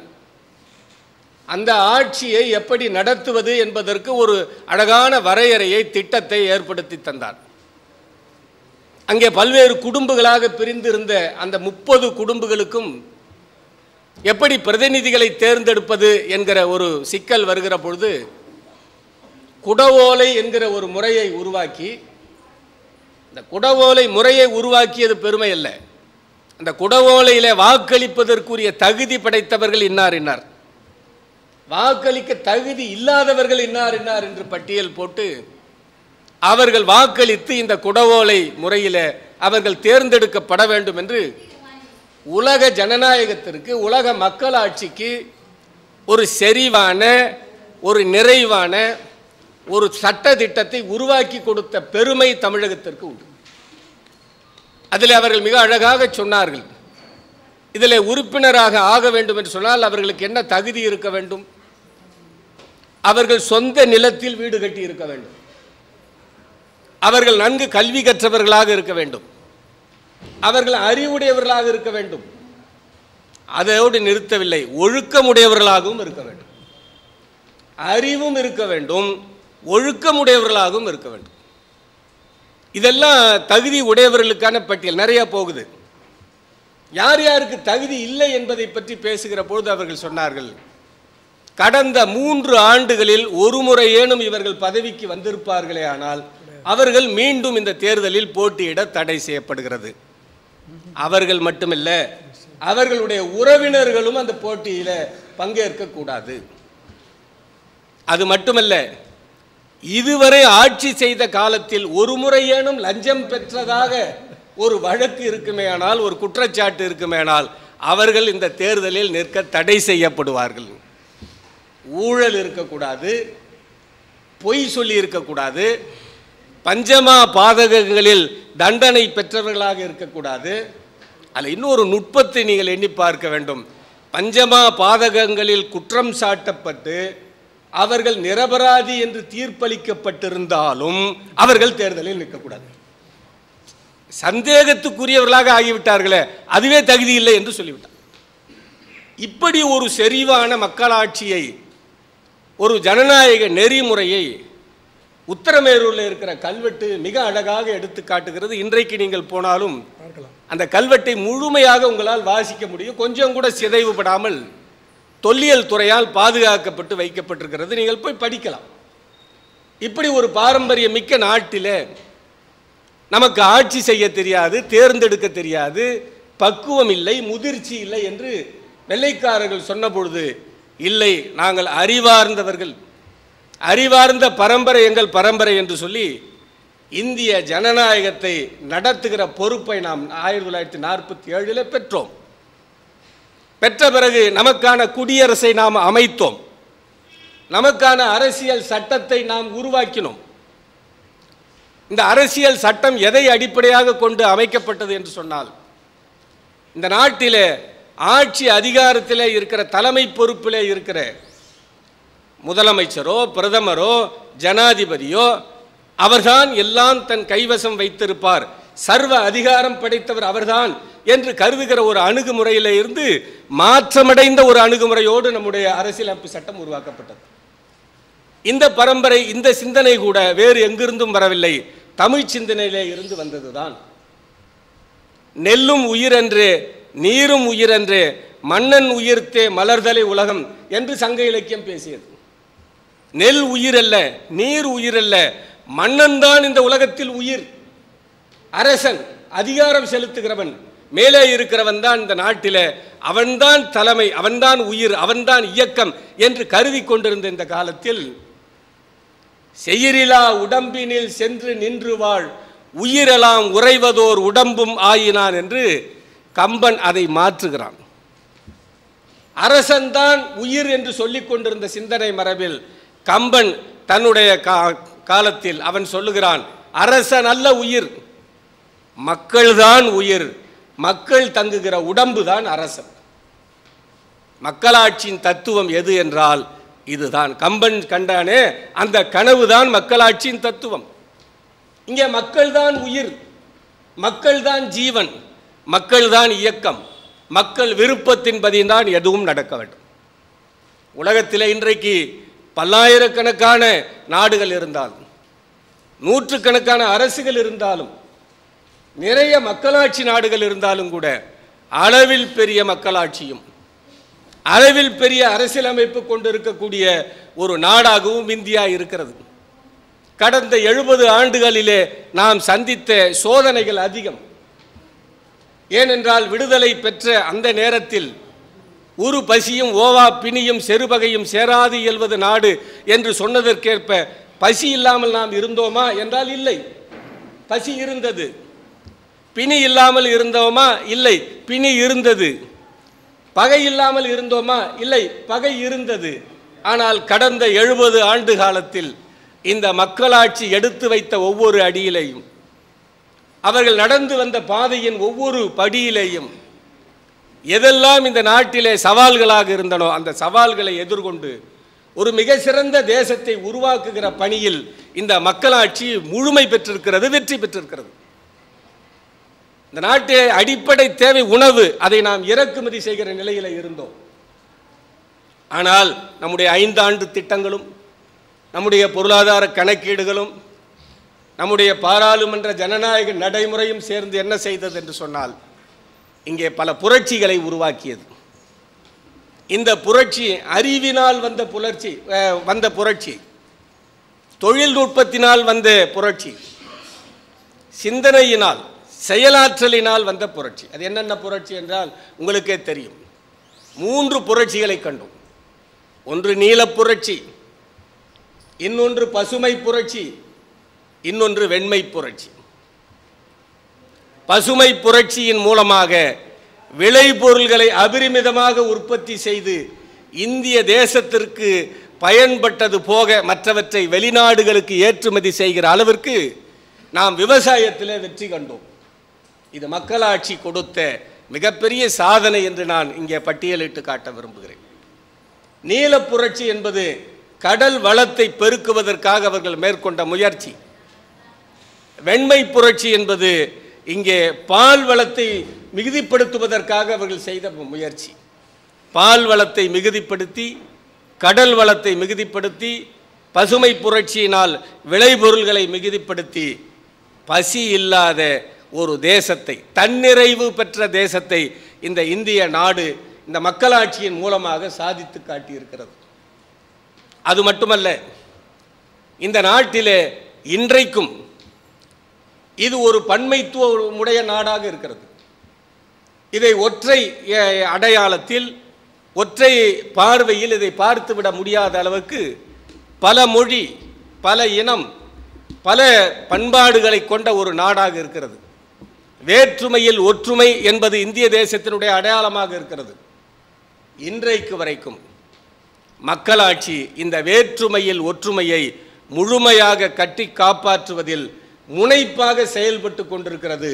இங்கே அனைத்து சாதியினரும் அனைத்து மதத்தினரும் அனைத்து மொழியினரும் எல்லோரும் சமமாக ஒற்றை குடையின் கீழ் சட்டத்தின் முன் அனைவரும் சமம் என்கிற நிலையில் இந்த நாட்டில் நீதியையும் நியாயத்தையும் உரிமையும் பெற்று வாழ்ந்து கொண்டிருக்கிறார்கள். சில சவால்கள் வரலாம். சில குறைகள் இருக்கலாம். சில சறுக்கல்கள் இருக்கலாம். அதை இல்லை என்று மறுத்துவிட முடியாது. ஆனால் எத்தனை சறுக்கல்கள் வந்தாலும் அந்த சறுக்கலிலே இருந்து மீண்டும் எழுந்து நிற்கக்கூடிய தார்மீக சக்தி இந்த மக்களாட்சிக்கு இருக்கிறது என்பதை ஒவ்வொரு காலகட்டத்திலும் இந்தியா நிரூபித்திருக்கிறது. ஆட்சியாளர்கள் தவறு செய்கிறார்கள். மக்கள் அவர்களை தூக்கி அடிக்கிறார்கள். மீண்டும் ஆட்சியாளர்கள் தவறு செய்க மே- புதிய ஆட்சியாளர் வருகிறார்கள். ஏதேனும் தவறு நடந்தால் மக்கள் அவர்களை தூக்கி அடிக்கிறார்கள். என்ன பொருள் என்று சொன்னால் மக்கள் அறியாதவர்கள் அல்ல அறியாமையில் உள்ளவர்கள் அல்ல. தவறு நடந்தால் தேர்தல் நடைமுறையின் மூலமாக வாக்குச்சீட்டின் மூலமாக அதை சரி செய்து கொள்ளக்கூடிய தார்மீக அறிவும் பொறுப்பும் முதிர்ச்சியும் உடையதாக இந்த மக்களாட்சி இருக்கிறது என்பதுதான் இதில் இருக்கிற மிகப்பெரிய பெருமை. இப்படிப்பட்ட பெருமையின் மூலமாக நாம் உலக அரங்கில் தலை நிமிர்ந்து நிற்கிறோம். நம்முடைய இராணுவம் உலகத்தின் தலை சிறந்த இராணுவமாக இருக்கிறது என்று நாம் பெருமைப்படுகிறோம். உலகத்தின் தலை சிறந்த கல்வியாளர்களை கொண்டிருக்கிற நாடு என்கிற பெருமை நமக்கு இருக்கிறது. உலகம் முழுக்க இருக்கக்கூடிய அத்தனை தொழில் நிறுவனங்களிலேயும் இந்தியர்கள் பணியாற்றி கொண்டிருக்கிறார்கள். இந்திய அறிவு அங்கே பயன்படுகிறது. நாம் இருக்கும் நாடு நமது என்பது அறிந்தோம். இது நமக்கே உரிமையாம் என்று மகிழ்ந்தோம் என்று பாரதி பேசினான். இன்றைக்கு மீண்டும் அதை உறக்கச் சொல்லுகிற வாய்ப்பு நமக்கு கிடைத்திருக்கிறது. நாம் இருக்கும் நாடு நமது. இது நமக்கே உரிமை உடையது. பூமியில் எவர்க்கும் இனி அடிமை செய்யும். யாருக்கு நாம் அடிமைப்பட்டு வாழ வேண்டிய அவசியம் நமக்கு இல்லை அதற்குரிய அறிவும் முதிர்ச்சியும் பண்பாடும் செழுமையும் கொண்டதாக இந்த மக்களாட்சி முதிர்ந்திருக்கிறது மலர்ந்திருக்கிறது. வாழ்க மக்களாட்சி என்று சொல்லி நிறைவு செய்கிறேன். நன்றி வணக்கம். அடுத்து ஞானம் போற்றும் விஞ்ஞானம். விஞ்ஞானி நெல்லை சு. முத்து அவர்கள் இப்பொழுது பேசுவார்கள். ஞாலம் போற்றும் விஞ்ஞானம் என்ற ஒரு தலைப்பினில் நான் பணியாற்றிய விண்வெளித்துறை சார்ந்த செய்திகளுடைய வளர்ச்சியினை இந்திய விண்வெளியின் சாதனைகளை உலக அரங்கில் இந்திய விண்வெளி எந்த இடத்திற்கு உயர்ந்திருக்கிறது என்ற செய்திகளை எல்லாம் கடந்த எழுபது ஆண்டுகளின் ஒரு வரலாற்று தொகுப்பாக உங்கள் முன் படைக்கலாம் என்று கருதுகின்றேன். உள்ளபடியே இந்திய சுதந்திரத்திற்கு பிறகு இந்திய விஞ்ஞானிகளால் இந்திய நலனுக்காக இந்தியர்களால் உருவாக்கப்பட்டது இந்திய விண்வெளித்துறை என்பது சிறப்பு செய்தி. பாரத பிரதமரே அன்று முதல் இன்று வரையிலும் அதன் துறை அமைச்சர் என்பதுதான் இனி ஒரு தலைப்புச் செய்தி. ஆயிரத்தி தொள்ளாயிரத்தி அறுபதாம் ஆண்டுகளில்தான் இந்த விண்வெளியினுடைய தொடக்கம் இந்தியாவில் என்று குறிப்பிட வேண்டும். அதை தொடங்கி வைத்த பெருமை இப்பொழுது நூற்றாண்டு கண்டு கொண்டிருக்கின்ற பேராசிரியர் டாக்டர் விக்ரம் ஏ. சாராபாய் அவர்களுடைய ஒரு கனவு திட்டம். அவர் குறிப்பிட்ட தொலைநோக்கு சிந்தனை என்பது இதுதான். இந்தியாவை பொறுத்த மட்டில் முன்னேற்றமடைந்து வரும் ஏனைய நாடுகளுடன் நாம் விண்வெளி ஆய்வு நடவடிக்கைகளை ஒப்பிட்டு சிலர் வினா எழுப்பலாம். நமது வழிமுறையில் தடுமாற்றம் ஏதுமில்லை. பொருளாதார அடிப்படையில் வளர்ச்சியடைந்த நாடுகளைப் போல சந்திரனையோ வேறு கிரகங்களையோ சென்றடைவதில் அந்நாடுகளுடன் போட்டியிடவோ மனிதர்களை சுமந்து செல்லும் விண்வெளி பயணங்கள் புரியவோ நாம் கனவு காணவில்லை.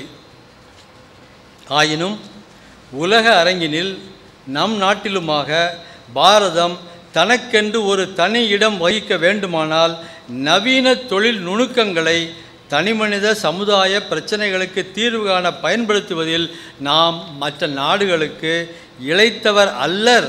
என்று நிரூபித்தாக வேண்டும் என்பதுதான் அவருடைய விண்வெளி கோட்பாடாக இருந்தது. அந்த வகையில்தான் தொடக்க காலத்தில் வானிலை ஆய்வு தொலைத்தகவல் தொடர்பு தொலை உணர்வு ஆகிய மூன்று முக்கிய குறிக்கோள்களைத்தான் இந்திய விண்வெளி தன்னுடைய ஆரம்ப நோக்கங்களாக கொண்டு தொடங்கியது. இந்திய அணுசக்தி துறையினுடைய தலைவராக பேராசிரியர் ஹோமிஜே பாபா அவர்களுடைய உதவியுடன் அன்றைய பாரத பிரதமர் பண்டிட் ஜவஹர்லால் நேருவினுடைய ஊக்கத்தினால் பேராசிரியர் விக்ரம் சாராபாயுடைய தலைமையில் ஆயிரத்தி தொள்ளாயிரத்தி அறுபத்தி ரெண்டாம் ஆண்டு சுதந்திரத்திற்கு பதினைந்து ஆண்டுகளுக்கு பிறகு இந்திய தேசிய விண்வெளி ஆராய்ச்சி குழுமம் Indian National Council for Space Research என்கின்ற ஒரு இன்கோஸ்பார் என்ற அமைப்பு உருவாக்கப்பட்டது. பூமியாகிய அந்த பிரபஞ்சத்தினுடைய ஒரு பகுதியில் காந்த மண்டலத்திற்கும் ஒரு நடுக்கோடு இருக்கின்றது. அங்கே வானிலை ஆராய்ச்சிக்கு உகந்த இடமாகத்தான் திருவனந்தபுரம் கடற்கரை அருகே தும்பா என்கின்ற இடம் தேர்ந்தெடுக்கப்பட்டது. இன்று அங்கு டேர்ல்ஸ் என்கின்ற ஒரு பகுதி இருக்கின்றது. தும்பா நிலநடுக்கோட்டு ராக்கெட் ஏவுதளம் என்பதை ஆங்கிலத்தில் Thumba equatorial rocket launching station TERLS என்று நாம் குறிப்பிடுகின்றோம். அதுதான் இந்திய விண்வெளியினுடைய முதல் தொடக்க மைய இடமாக விளங்கிட்டு இன்றும் விளங்குகின்றது.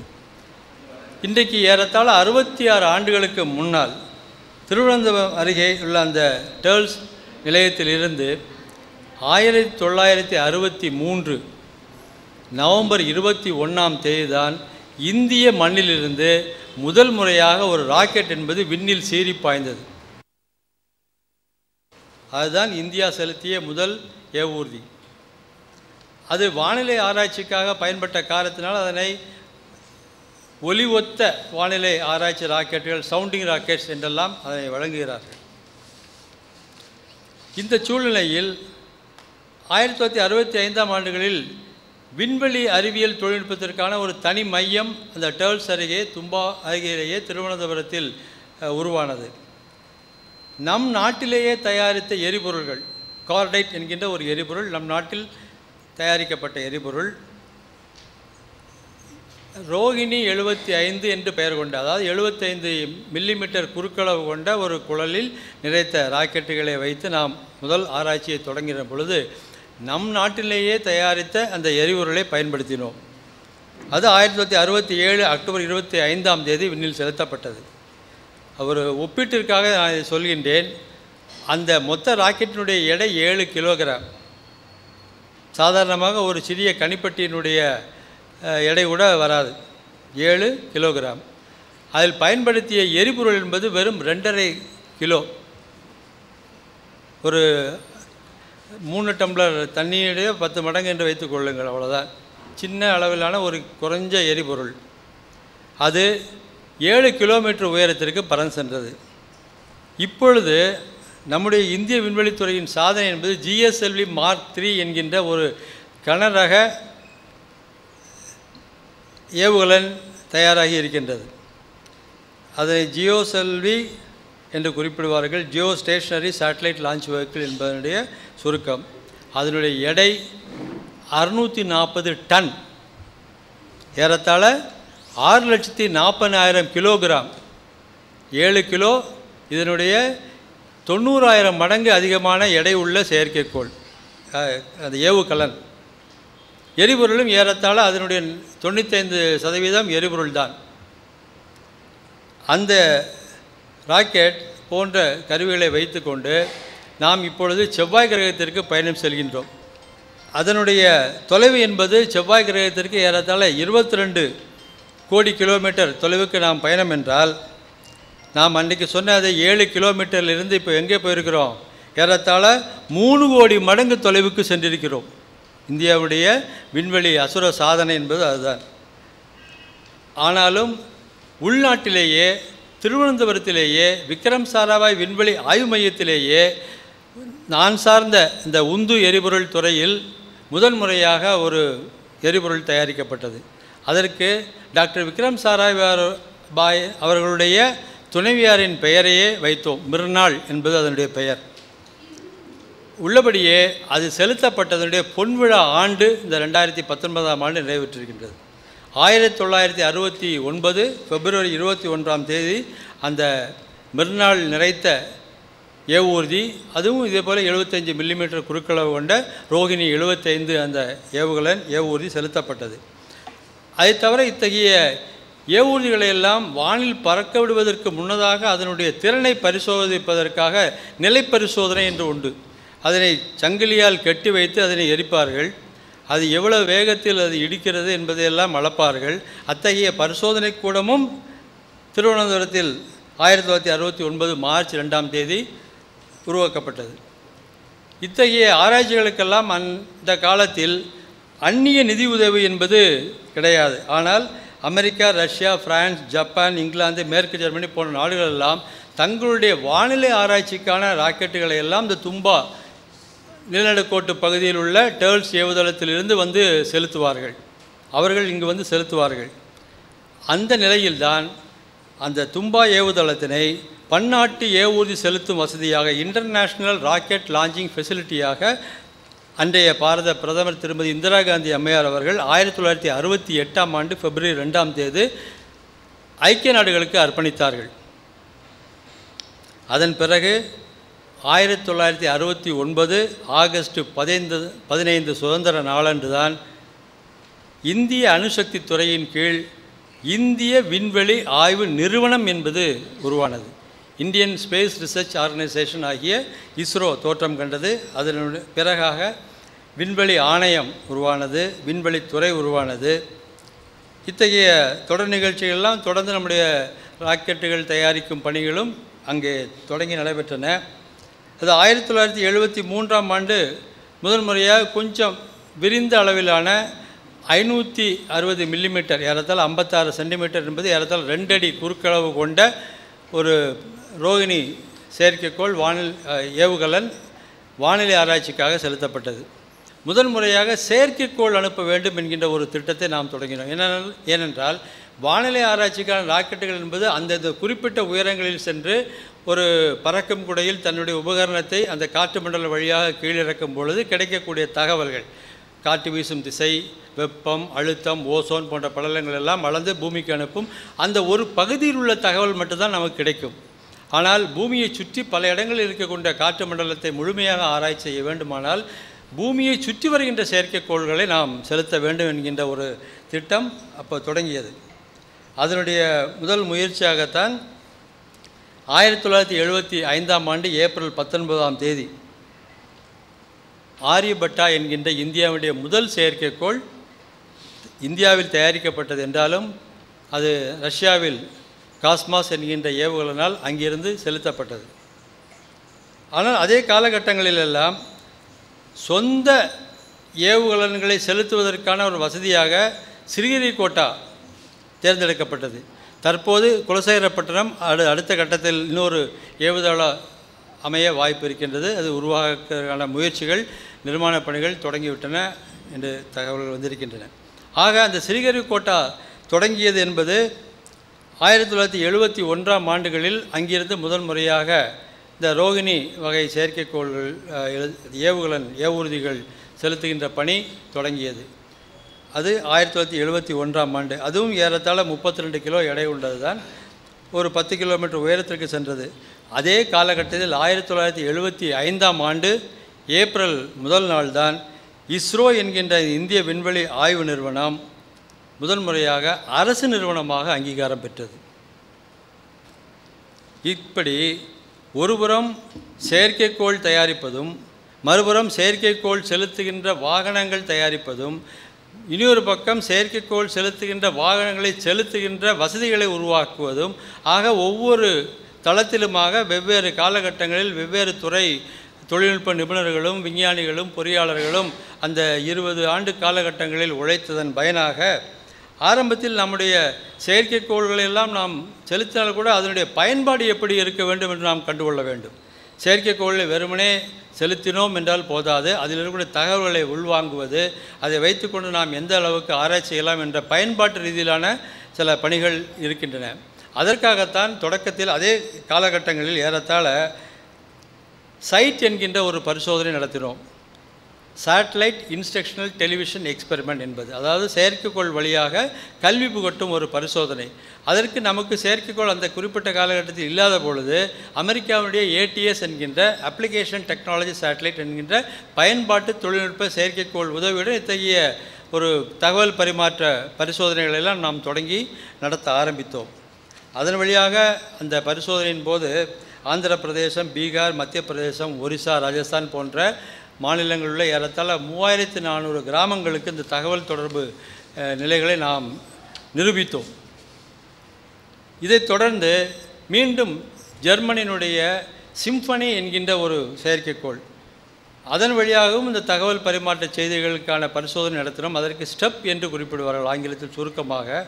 சேட்டலைட் டெலிகம்யூனிகேஷன் எக்ஸ்பெரிமெண்ட்ஸ் ப்ராஜெக்ட் என்பது செயற்கைக்கோள் வழியாக தொலைத்தகவல் தொடர்பு பரிசோதனைகள் திட்டம் என்பது நடைபெற்றது. இதனுடைய இறுதியில் இந்தியாவுடைய முதல் சாதனையாக உலக நாடுகளின் வரிசையில் இந்தியாவை கொண்டு நிறுத்தியது டாக்டர் அப்துல் கலாம் அவர்கள் திட்ட இயக்குநராக இருந்து செயல்பட்ட எஸ்எல்வி த்ரீ என்கின்ற செயற்கைக்கோள் ஏவுகணை திட்டம். அதனுடைய முதல் பயணம் ஆயிரத்தி தொள்ளாயிரத்தி எழுபத்தி ஒன்பது ஆகஸ்ட் மாதத்தில் முழு வெற்றி பெறவில்லை என்றாலும் மறு ஆண்டே முயன்று ஆயிரத்தி தொள்ளாயிரத்தி எண்பது ஜூலை பதினெட்டாம் தேதி முதல் முறையாக இந்திய மண்ணிலிருந்து இந்தியாவிலேயே தயாரிக்கப்பட்ட ரோஹிணி ரோகிணி செயற்கைக்கோள் ஒன்று இந்திய ஏவுதளத்திலிருந்து ஸ்ரீஹரிகோட்டாவிலிருந்து இந்திய வானில் பறக்கவிடப்பட்டது. அந்த செயற்கைக்கோளுக்கு பிறகு உலக நாடுகளின் வரிசையில் இந்தியா ஏழாவது இடம் என்ற ஒரு செய்தி வந்தது. Russia America France Japan China England அடுத்து இந்தியா அதன் பிறகுதான் இஸ்ரேல் ஈரான் வடகொரியா போன்ற நாடுகளெல்லாம் அதனுடைய பின்னணியில் தான் வருகின்றன. அந்த பத்து நாடுகளுடைய வரிசையில் நான் ஒரு செய்தியை பின்னால் குறிப்பிட விரும்புகின்றேன். இருந்தாலும் இன்னொரு செய்தியை இங்கே சொல்ல விளைகின்றேன் இத்தகைய செயற்கைக்கோள் அனுப்பிய பிறகு இந்த பயன்பாட்டுகளுக்காக நாம் எப்படியெல்லாம் அந்த தகவலை பெற முடியும் என்கின்ற ஒரு பரிசோதனையின் முதல் முன்னோடியாக ஆப்பிள் என்கிற ஒரு ப்ராஜெக்ட் திட்டம் இருந்தது. அது ஆங்கிலத்தில் ஏரியன் பேசஞ்சர் பேலோட் எக்ஸ்பெரிமெண்ட் என்பது. அதாவது ஏரியன் என்கின்ற ஒரு ஏவுகலன் வழியாக அதனுடன் சக இன்னொரு செயற்கைக்கோளுடன் சக பயணியாக போய் அனுப்பப்பட்ட இந்தியாவுடைய ஒரு செயற்கைக்கோள் அது. Ariane passenger payload experiment. அதனுடைய திட்ட இயக்குனராக இருந்தவரும் நம்முடைய அண்ணா பல்கலைக்கழகத்தின் முன்னாள் துணைவேந்தருமாக இருந்த பத்மஸ்ரீ ராமா வாசகம் அவர்கள். அது அவர் தான் அந்த முதல் திட்ட இயக்குனராக அதில் பணியாற்றினார். அப்போது அந்த காலகட்டங்களில் அதுக்கு ஒரு பஞ்சசீல கொள்கை என்று இருந்தது. தொலைக்காட்சி ஒளிபேசி என்றெல்லாம் அது கைபேசியில் வந்துவிட்டது எல்லாமே. வானொலி தகவல் தொலைபேசிகள் இணையம் போன்ற வசதிகள் எல்லாம் நாம் அன்று அந்த ஆப்பிள் திட்டங்கள் வழியாக நாம் கற்றுக்கொண்டோம். அது தொடர்பாகத்தான் முதன் முறையாக இன்று இந்த தகவல் தொடர்புக்கான தொலைக்காட்சிக்கும் வானொலிக்குமான அனைத்து சமூக ஊடகங்கள் வழியான செயற்கைக்கோள் தொடர்புக்குமான இன்சாட் ரக செயற்கைக்கோள்களை எல்லாம் நாம் செலுத்தும் ஒரு திட்டம் தொடங்கியது. அது ஆயிரத்தி தொள்ளாயிரத்தி எண்பத்தி ரெண்டு. ஏறத்தாழ முப்பத்தி ஏழு ஆண்டுகளுக்கு முன்னால் இன்சாட் செயற்கைக்கோள் திட்டம் தொடங்கியது. அதனுடைய முதல் செயற்கைக்கோள் என்பது அமெரிக்காவுடைய டெல்டா ஏவுகளினால் அங்கிருந்து செலுத்தப்பட்டது. இருந்தாலும் செயற்கைக்கோள் ஏவுகலன்கள் என்ற வரிசையில் பார்க்கும் பொழுது ஜிஎஸ்எல்வி என்கின்ற ஒரு ராக்கெட் அதாவது இத்தகைய தகவல் தொடர்பு செயற்கைக்கோள்கள் முப்பத்தி ஆறாயிரம் கிலோமீட்டர் உயரத்தில் பூமியினுடைய ஒரே பகுதியில் நிலைநிற்கும்படியான ஒரு சூழ்நிலையான வேகத்தில் அது சுற்றி கொண்டு வர வேண்டும். பூமி தன்னைத்தானே சுற்றுவதற்கு ஒரு நாள் எடுத்துக்கொள்வதை போல முப்பத்தி ஆறாயிரம் கிலோமீட்டர் செல்கின்ற அந்த செயற்கைக்கோளும் ஒரு முறை பூமியை சுற்றி வருவதற்கு ஒரு நாள் எடுத்துக்கொள்ள வேண்டும். அப்படி எடுத்துக்கொண்டால் மத் மட்டும்தான் நாம் பூமியிலிருந்து பார்க்கும் பொழுது ஒரே இடத்தில் நிற்பதாக தோன்றும். அதனால் அதற்கு புவி நிலைவட்ட பாதை என்று நாம் குறிப்பிடுவோம். ஜியோ ஸ்டேஷனரி ஆர்பிட் என்று சொல்வார்கள். அதோடு மட்டுமல்ல புவியோடு ஒத்து இயங்குகிறது. ஒரு நாளைக்கு ஒரு முறை தான் சுற்றுகிறது என்பதால் ஜியோ சிங்க்ரோனஸ் செயற்கைக்கோள் என்று கூட அதை குறிப்பிடுவோம். அந்த வகையிலான செயற்கைக்கோளுக்கு இப்பொழுது கிரையோஜெனிக் என்கின்ற ஒரு புது ரக திரவ எரிபொருள் தேவைப்பட்டது. அது உயர்கட்டங்களிலெல்லாம் அதான் பல நாடுகளில் பயன்படுத்துகிறார் அதுவும் ஆரம்பத்தில் நாம் ரஷ்யாவிடமிருந்து சில பொறிகளை பெற்றுக்கொண்டு சில பரிசோதனைகளை அவர்கள் உதவியுடன் தொடங்கினோம். ஆரம்பத்தில் வெறும் ஏழு ஏழரை டன் எடை கொண்ட அந்த கரையோஜெனிக் என்கின்ற அதி குளிர்நிலை அதி குளிர்நிலை என்பது உங்களுக்கு தெரிந்திருக்கும். பனி உரைநிலையை காட்டிலும் ஏறத்தாழ இருநூற்றி ஐம்பது பாகை அல்லது நூற்றி எழுபது பாகை இந்த அளவு குளிர்நிலையில் செயல்படக்கூடிய திரவ எரிபொருளை வைத்து அந்த பொறியை இயக்க வேண்டும். அதுவும் ஏழு ஏழரை டன் தான் முதல் தொடங்கினோம். இப்பொழுது இருபத்தி ஐந்து டன்னுக்கு உயர்ந்திருக்கிறோம். அது மட்டுமில்ல ரஷ்யா கொடுத்த அவர்களிடம் நாம் பெற்றுக்கொண்ட தொழில்நுட்பத்தின் அடிப்படையில் அவர்களுடைய பொறி என்பது நானூறு நொடிகள் மட்டும்தான் தொடர்ந்து இயங்கக்கூடியது. அதை விட்டுவிட்டு அணைக்க வேண்டும் என்று அவர்களுடைய கட்டளை. ஆனால் நாம் இந்தியர்கள் தயாரித்த இப்பொழுதைய கிரையோஜெனிக் என்பது அறுநூற்றி நாற்பது நொடிகள் தொடர்ந்து இயங்கக்கூடிய அளவில் செயல்பட்டு கொண்டிருக்கின்றது. நாம் அந்த வகையில் ரஷ்யருடைய தொழில்நுட்பத்தையும் ஒரு விஞ்சிய தொழில்நுட்பமாக நாம் செய்த வகையில் உலக அளவில் இந்தியா ஆறாவது இடம் வகிக்கின்றது. America Russia France China Japan ஆகிய நாடுகளுக்கு அடுத்த இடம் இந்த கிரையோஜெனிக் தொழில்நுட்பத்தில் இந்தியா ஆறாவது இடம் என்ற பெருமையை பெற்றிருக்கின்றது. ஆனாலும் ஐந்தாவது இடம் என்ற ஒரு தகுதி இருக்கிறது. நான் ஏற்கனவே குறிப்பிட்டேன். சொந்த மண்ணிலிருந்து சொந்த செயற்கைக்கோளை ஏவிய நாடுகளின் வரிசையில் இந்தியா ஏழு என்று. ஆனால் உள்ளபடியே என்னுடைய கணிப்பில் இந்தியா ஐந்தாவது இடம் என்று நான் சொல்ல இருக்கின்றேன். ஏனென்றால் சொந்த ஏவுதளத்தை சொந்த நாட்டில் கட்டமைத்த நாடுகள் என்பவை ரஷ்யா அமெரிக்கா சீனா ஜப்பான் மட்டும்தான். இங்கிலாந்திற்கு இங்கிலாந்து நாட்டில் சொந்த ஏவுதளம் கிடையாது. ஆஸ்திரேலியாவில் உமரா என்கின்ற ஒரு தீவு பகுதியில் தான் வைத்திருக்கிறார்கள். அதே போல் பிரெஞ்சு நாடு என்பது ஐரோப்பிய விண்வெளி கழகம் என்கின்ற வகையில் ஏறத்தாழ இருபத்தி ரெண்டு உறுப்பு நாடுகளை சேர்த்து கொண்டு தென் அமெரிக்காவில் பிரெஞ்சு கயானா என்கின்ற அவர்களுடைய ஆதிக்கத்திற்கு உட்டு உட்பட்ட ஒரு மாகாணத்திலிருந்து ஒரு ஏவுதளத்திலிருந்து அனுப்புகிறார்கள். ஆக எல்லாமே சொந்த நாட்டிலிருந்து தயாரித்து அனுப்புகின்ற ஒரு ஏவு தளம் இல்லை. இந்தியாவை பொறுத்த மட்டில் இத்தகைய ஏவு தளம் என்பது இந்தியாவிலேயே நிர்மாணிக்கப்பட்டு இந்திய விஞ்ஞானிகளால் இந்திய ஏவுகணைகளால் இந்திய செயற்கைக்கோள் அனுப்புகின்ற வகையில் இந்தியா உலகின் ஐந்தாவது இடத்தை பெற்றிருக்கிறது என்று நான் என்னுடைய கருத்தினை திருத்தி சொல்ல விரும்புகின்றேன். அது மட்டும் இல்லை இப்போ தகவல் தொடர்பு என்ற செய்தியை கடந்து நான் ஏற்கனவே குறிப்பிட்டேன் வானிலை ஆய்வு தொலைத்தகவல் தொடர்பு மூன்றாவதாக தொலை உணர்வு ரிமோட் சென்சிங் பூமிக்கு வெளியே இருந்து கொண்டு பூமியின் மடியில் இருக்கக்கூடிய கனிம வளங்கள் தாதுக்கள் நிலத்தடி நீர் எண்ணெய் வளங்கள் போன்றவற்றையெல்லாம் கண்காணிக்க முடியும். மீன் வளங்களை கூட நாம் கவனிக்க முடியும். ஏன்னால் சில மீன்கள் தங்களுக்கே உரிய கதிர்வீச்சுகளை செலுத்தும் பொழுது அவை வலசை போகின்ற பகுதிகளை நாம் வானிலிருந்து கவனிக்க முடியும். அவற்றின் வெளியிலிருந்து கசியக்கூடிய சில எண்ணெய் பொருள்கள் சார்ந்து அந்த பகுதியில் திட்டு திட்டாக சில எண்ணெய் படலங்கள் இருக்குமானால் இந்த குறிப்பிட்ட மீன் வகைகள் அங்கே வலசை போகின்றன என்பதை கூட நாம் வானிலிருந்து கண்காணிக்க முடியும்.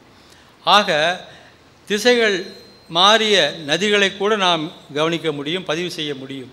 இத்தகைய தொலைவில் இருந்து கொண்டு பூமியை கவனிக்கின்ற அத்தகைய தகவல் தொழில்நுட்பம் சார்ந்த அல்லது தொலை உணர்வு சார்ந்த செயற்கைக்கோள்களை கூட நாம் இப்பொழுது வடிவமைத்திருக்கின்றோம். சமீபத்தில் சந்திரயான் ரெண்டு என்கின்ற ஒரு திட்டமும் ரெண்டாயிரத்தி பத்தொன்பது ஜூலை இருபத்தி ரெண்டாம் தேதி செலுத்தப்பட்டு செப்டம்பர் ஏழாம் தேதி அதிகாலையில் அது தன்னுடைய பயணத்தின் இறுதி கட்டத்தில் தொடர்பு அறந்த நிலை ஆனது என்றாலும் அதனுடைய வெற்றி என்பது ஏறத்தாழ தொண்ணூற்றி எட்டு சதவீதம் வெற்றியாகத்தான் இந்திய விஞ்ஞானிகள் அதை கருதுகின்றோம். அதில் வந்து விஞ்ஞானிகளை பொறுத்த மட்டில் தோல்வி என்ற ஒரு வார்த்தை இல்லை. கலாம் அவர்கள் சொல்வார் ஃபெயில் என்பது இல்லை ஃபர்ஸ்ட் attempt இன் லேர்னிங் என்பார். எஃப்ஏஐஎல் என்பது அவர் குறிப்பிடுவது அதுதான் எதிலும் நாம் தோல்வி அடைவதில்லை. சிறு வெற்றி என்றால் சொல்லிக்கொள்ளுங்கள் சிறு தோல்வி அல்லது சிறு வெற்றி என்றால் சொல்லிக்கொள்ளுங்க என்பதுதான் வைத்துக்கொள்ள வேண்டும். அந்த வகையில் நம்முடைய சந்திரயான் ரெண்டு பயணம் அடுத்த மூன்றாம் திட்டம் தொடங்க இருக்கின்றது. செவ்வாயை பொறுத்த மட்டில் நாம் உலக அளவில் நான்காம் இடம் வகிக்கின்றோம். அமெரிக்காவின் மரைனர் என்கின்ற ஒரு விண்கலன் ஆயிரத்தி தொள்ளாயிரத்தி அறுபத்தி நாலு நாலு ஆண்டுகளில் செலுத்தப்பட்டது. சோவியத் யூனியனுடைய மார்ஸ் ரெண்டு என்பது எழுபத்தி ஓராம் ஆண்டு. அதைத் தொடர்ந்து ஐரோப்பாவின் மார்ஸ் எக்ஸ்பிரஸ் என்பது ரெண்டாயிரத்தி மூன்றாம் ஆண்டு செலுத்தப்பட்டது. அதைத் தொடர்ந்து இந்தியாவின் மங்கள்யான் ரெண்டாயிரத்தி பதிமூன்று நவம்பர் ஐந்தாம் தேதி ஸ்ரீஹரிகோட்டா ஏவுதளத்திலிருந்து செலுத்தப்பட்டு அது ஏறத்தாழ பத்து மாதங்கள் விண்வெளியில் பயணம் செய்து செவ்வாயை நோக்கி சென்று சுற்ற ஆரம்பித்தது. இதை வெற்றி பயணத்திற்கு பின்னணியில் ஒரு செய்தியை சொல்ல வேண்டும். நாம் உலக அளவில் மூன்று நாடுகளை குறிப்பிட்டு நான்காம் நாடாக இந்தியாவை சொன்னேன். ஆனால் உலக அளவில் இதுவரை பேசப்படுகின்ற விண்வெளி நாடுகள் என்ற பெருமை பெற்ற நாடுகளில் ஜப்பான் ஆயிரத்தி தொள்ளாயிரத்தி தொண்ணூற்றி எட்டாம் ஆண்டு நோசுமி என்கின்ற ஒரு விண்கலத்தை செவ்வாய்க்கு அனுப்பியது. ஆனால் அது பாதியில் கோளாறாகி தோல்வியில் முடிந்தது. அதே சமயத்தில் சீனா ரஷ்யாவின் உதவியுடன் இங்குவா என்கின்ற ஒரு விண்கலனை செவ்வாய் நோக்கி அனுப்பியது. அதுவும் தோல்வியில் முடிந்து பசிபிக் கடலில் வந்து விழுந்தது. விழுந்த நாள் ரெண்டாயிரத்தி பன்னெண்டு ஜனவரி பதினைந்து திருவள்ளுவர் தினத்தன்று. ஆக இத்தகைய உலக நாடுகள் எல்லாம் தோற்றுப்போன செவ்வாய் கிரக பயணத்தில் இந்தியா முதன்முறையாக வெற்றி பெற்றது என்பதுதான் நம்முடைய இந்திய விண்வெளியுடைய சாதனை என்று நாம் சொல்ல வேண்டும். இத்தனையும் உலக நாடுகளுடன் ஒப்பிட்டு பார்க்கின்ற பொழுது இன்னொரு செய்தியும் தோன்றுகிறது ஆரம்பத்தில் நான் உங்களிடம் குறிப்பிட்டேன் நம்முடைய ஆரியபட்டா என்பது ரஷ்யாவிலிருந்து அனுப்பப்பட்டது ஆப்பிள் என்பது பிரான்ஸ் நாட்டிலிருந்து அனுப்பப்பட்டது என்றெல்லாம். இப்பொழுது உலக நாடுகளெல்லாம் தங்களுடைய செயற்கைக்கோள்களை சிறுகரிக்கோட்டா வாசலில் கொண்டு வந்து நிற்கிறார்கள் என்பதுதான் இந்திய விண்வெளியின் சாதனை என்று சொல்ல வேண்டும். ரெண்டாயிரத்தி பதினேழு பிப்ரவரி பதினைந்து அன்று உலக நாடுகளின் அத்தனை சாதனையையும் முறியடித்து நூற்றி நாலு செயற்கைக்கோள்களை ஒரே பயணத்தில் அனுப்பிய உலகின் முதல் நாடு இந்தியாவாக உயர்ந்திருக்கின்றது. செவ்வாய் கிரகத்தை பற்றி சொல்லும் பொழுது ஒரு செய்தியை நான் விட்டிருந்தேன் என்று நினைத்தேன். அதை விட மாட்டேன். ஏனென்றால் அந்த தகவலை உங்களுக்கு முழுமையாக எடுத்தனால்தான் செய்திகள் விளங்கும். செவ்வாய் கிரகத்திற்கு நாம் ஏறத்தாழ இங்கிருந்து பயணம் செய்ய வேண்டிய தூரம் என்பது ஏறத்தாழ அறுபத்தி எட்டு கோடி கிலோமீட்டர் பயணம் செய்திருக்கிறோம். நம்மிலிருந்து இருபத்தி ரெண்டு கோடி கிலோமீட்டர் தொலைவில் அது இயங்கிக் கொண்டிருக்கின்றது. நாம் புறப்பட்ட இடத்திலிருந்து மணிக்கு நாற்பதினாயிரம் கிலோமீட்டர் ஒரு வாகனம். அது எப்படி? செவ்வாய் கிரகம் என்பது பூமியிலிருந்து பார்க்கும் பொழுது நிலா ஒரு முகம் போல தெரியுமென்றால் செவ்வாய் ஒரு பொட்டு போல தான் தெரிகிறது. ஆனால் அது உலகம் அளவு பெரியது. அந்த பொட்டு நோக்கிய ஒரு உலகத்தை ஒரு சீருந்து அளவிலான ஒரு வாகனமாகிய மங்கல்யான் என்கின்ற ஒரு விண்கலம் அதிவேகத்தில் மணிக்கு நாற்பதினாயிரம் கிலோமீட்டர் வேகம் உங்களுடைய பே பேருந்துகள் சாலையில் போவது மணிக்கு நாற்பது கிலோமீட்டர். நான் சொல்வது அதை விட ஆயிரம் மடங்கு வேகத்தில். அதுவும் இப்பொழுது இருக்கிற வெப்பநிலை முப்பத்தைந்து டிகிரி பாகை. நான் சொல்கின்ற வெப்பநிலை என்பது பனி உரைநிலைக்கும் ஏறத்தாழ இருநூற்றி எழுபது தாழ் குளிர்நிலை. அத்தகைய ஒரு அதிகுளிர்நிலையில் ஒரு அதிவேகத்தில் பத்து மாதங்கள் பயணித்து சென்ற ஒரு விண்கலம் பறந்து கொண்டே இருக்கின்றது என்றால் நாம் ஹலோ என்று குறிப்பிட்டாலே அது காதில் விழுவதற்கே சில நிமிடங்கள் ஆகும். அந்த தொலைவில் விரைந்து கொண்டிருக்கின்ற ஒரு வாகனம் ஒரு பொட்டு போன்ற உலகத்தை நோக்கி போகின்ற ஒரு வண்டிக்குள் ஒரு கணிப்பொறிக்குள் இருக்கின்ற ஒரு வாகனத்தை பத்து மாதங்களுக்கு பிறகு நாம் ஒரு சொடுக்கில் ஆன் செய்த பொழுது ஆன் ஆகியது என்பதுதான் இந்திய விண்வெளியின் தொழில்நுட்ப சாதனை என்பது. பொதுவாக நான் பள்ளி மாணவர்களிடத்தில் குறிப்பிடும்போது சொல்வேன் இப்படி ஒரு பத்து மாதம் ஒரு ஸ்கூட்டரையோ காரையோ வாசலில் நிறுத்திவிட்டு நீங்கள் அடித்து பாருங்கள் ஸ்டார்ட் ஆகுமா வலது காலுக்கு ரெண்டு பேண்டேஜ் இட வேண்டும் என்று சொல்வேன். ஆக அந்த வகையில் இந்தியா வந்து பத்து மாதங்கள் கழித்து அதிகுளிர் நிலையில் அதிவேகத்தில் ஒரு பொட்டு போன்ற ஒரு வாகனத்திற்கு உள்ளே இருக்கக்கூடிய ஒரு கணிப்பொறியினுடைய ஒரு சென்சார் உணரியை ஒரே சொடுக்கில் இயக்குவித்தது என்பது இந்திய விண்வெளி தொழில்நுட்பத்தினுடைய அசாதாரண சாதனை. அதுதான் உன்- உலக நாடுகளின் வரிசையில் இந்தியா விண்வெளியில் ஒளிர்கிறது மட்டுமல்ல தலைமை நிலைக்கும் சென்று கொண்டிருக்கிறது என்று நான் கருதுகின்றேன். இதோட செய்தியாக சில செய்திகளையும் நாம் சொல்ல வேண்டும். விண்வெளி என்பது ஏதோ சில விஞ்ஞானிகளுக்காக உருவாக்கப்பட்டதாக அது அமையக்கூடாது. இன்றைய அடுத்த தலைமுறை அதனை ஏற்று வழிநடத்த வேண்டும். இன்றைய இளைஞர்கள் மத்தியிலும் பல விஞ்ஞானிகள் விண்வெளி சார்ந்த அறிஞர்கள் உருவாக வேண்டும். அதற்காகவே ரெண்டாயிரத்தி ஏழு செப்டம்பர் பதினான்காம் தேதி திருவனந்தபுரத்தில் நாம் ஏற்கனவே குறிப்பிட்ட அந்த விக்ரம் சாராபாய் விண்வெளி ஆய்வு மையத்தின் ஒரு பிரிவாக ஐஏஎஸ்டி என்கின்ற ஒரு நிறுவனம் இந்திய விண்வெளி அறிவியல் தொழில்நுட்ப நிறுவனம் Indian Institute of Space Science and Technology என்கின்ற ஒரு நிறுவனம் உருவாகி இருக்கிறது கடந்த மூன்று ஆண்டுகளாக நடைபெற்று கொண்டிருக்கின்றது. பன்னிரெண்டாம் வகுப்பு படித்த மாணவர்கள் தேர்வு முகாந்திரம் நுழைவுத் தேர்வுகள் எழுதி இந்த ஐஏஎஸ்டி என்கிற நிறுவனத்தில் சேர்ந்தால் நீங்கள் விண்வெளி விஞ்ஞானி ஆகலாம். தொழில்நுட்ப பொறியாளர் ஆகலாம். அதற்கான பயிற்சிகள் அவர்களே வழங்குகிறார்கள். அதற்கான பட்டய படிப்புகள் மட்டுமல்ல பட்டப்படிப்புகள் பொறியியல் பட்டம் முதுகலை பட்டம் ஆய்வு பட்டம் எல்லாம் வழங்கப்படுகின்றது. அத்தகைய ஒரு நிகர்நிலை பல்கலைக்கழகமான அந்த ஐஏஎஸ்டி நிறுவனத்தை தொடங்கிய முதல் வேந்தர் என்பவர் டாக்டர் அப்துல் கலாம் அவர்கள். அங்கே பல ஆய்வு திட்டங்கள் இப்பொழுதும் நடைபெற்று கொண்டிருக்கின்றன. அது நிறைய செய்திகள். இருந்தாலும் இந்தியாவை பொறுத்தமட்டில் நாம் உலக நாடுகளிலும் நல்லுறவு கொண்டிருக்கின்றோம். ஏனென்றால் இந்தியா இந்த துறையில் மற்ற நாடுகளைப் போல் அல்லாமல் தனித்துவமாக தன்னிறைவு பெற்ற ஒரு நாடாக சுய மதிப்புடன் செயல்பட்டு வருகின்றது. இது பன்னாட்டு கடல் தகவல் செயற்கைக்கோள் இன்டர்நேஷ்னல் மேரிடைம் சேட்டலைட் என்கின்ற ஒரு இன்மார்சாட் என்கின்ற ஒரு சர்வதேச அமைப்பில் இந்தியா அங்கத்துவம் வகிக்கின்றது. பன்னாட்டு விண் பயணவியல் பேரவை இன்டர்நேஷ்னல் அஸ்ட்ரானிக்கல் ஃபெடரேஷன் என்கின்ற ஒரு அமைப்பினில் கூட ஒரு கருத்தரங்கில் இந்தியா தலைமை வகித்தது. செயல் திட்டங்களில் இந்தியா வெகு முனைப்புடன் செயல்பட்டு வருகின்றது. மட்டுமல்ல தூய்மை இந்தியா பற்றியும் குறிப்பிடுகின்ற அதே காலகட்டங்களில் பீஸ் என்கின்ற ஒரு அமைப்பு பிஇஏஎஸ் என்கின்ற சுருக்கம் ஆங்கிலத்தில் அதை தமிழில் சொல்வதனால் தூய்மையான பூமியை உறுதிப்படுத்தும் சுற்றுச்சூழல் பாதுகாப்பு protection of environment for assuring cleaner earth என்கின்ற ஒரு அமைப்பிலும் இந்தியா முனைப்புடன் செயல்பட்டு வருகின்றது. பூமிக்கு வெளியே இருந்து கொண்டு பூமியில் செல்கின்ற வாகனங்கள் அதாவது குறிப்பாக கடல் வழி வாகனங்களாய கப்பல்கள் வான்வழி வாகனங்கள் ஏதேனும் விபத்துக்குள்ளானால் நிச்சயமாக செயற்கைக்கோள் முகாந்திரம் அவற்றுக்கு உதவி நிவாரணங்கள் மீட்பு முத முயற்சிகள் செய்ய முடியும். அதற்கான சேட்டலைட் எய்டட் ரெஸ்கியூ சிஸ்டம் என்கின்ற அமைப்பும் அதில் இடம்பெறுகின்றது. ஆக இந்தியாவை பொறுத்தமட்டில் சர்வதேச அளவிலும் இந்தியா முன்னேறி வருகின்றது. வெளிநாட்டு மாணவர்களுக்கும் இங்கே வந்து படிக்கின்ற ஒரு சூழலும் அமைத்திருக்கிறோம். ஐக்கிய நாடுகளின் கீழ் இயங்கி வருகின்ற ஏசியா மற்றும் பசிபிக் நாடுகளில் விண்வெளி அறிவியல் மற்றும் தொழில்நுட்ப கல்வி மையம் centre for space and technology education in Asia and Pacific என்கின்ற ஒரு அமைப்பு இங்கே பெங்களூர் நிறுவனத்தில் அகமதாபாத் நிறுவனங்கள் எல்லாம் செயல்பட்டு நடைபெற்று வருகின்றது.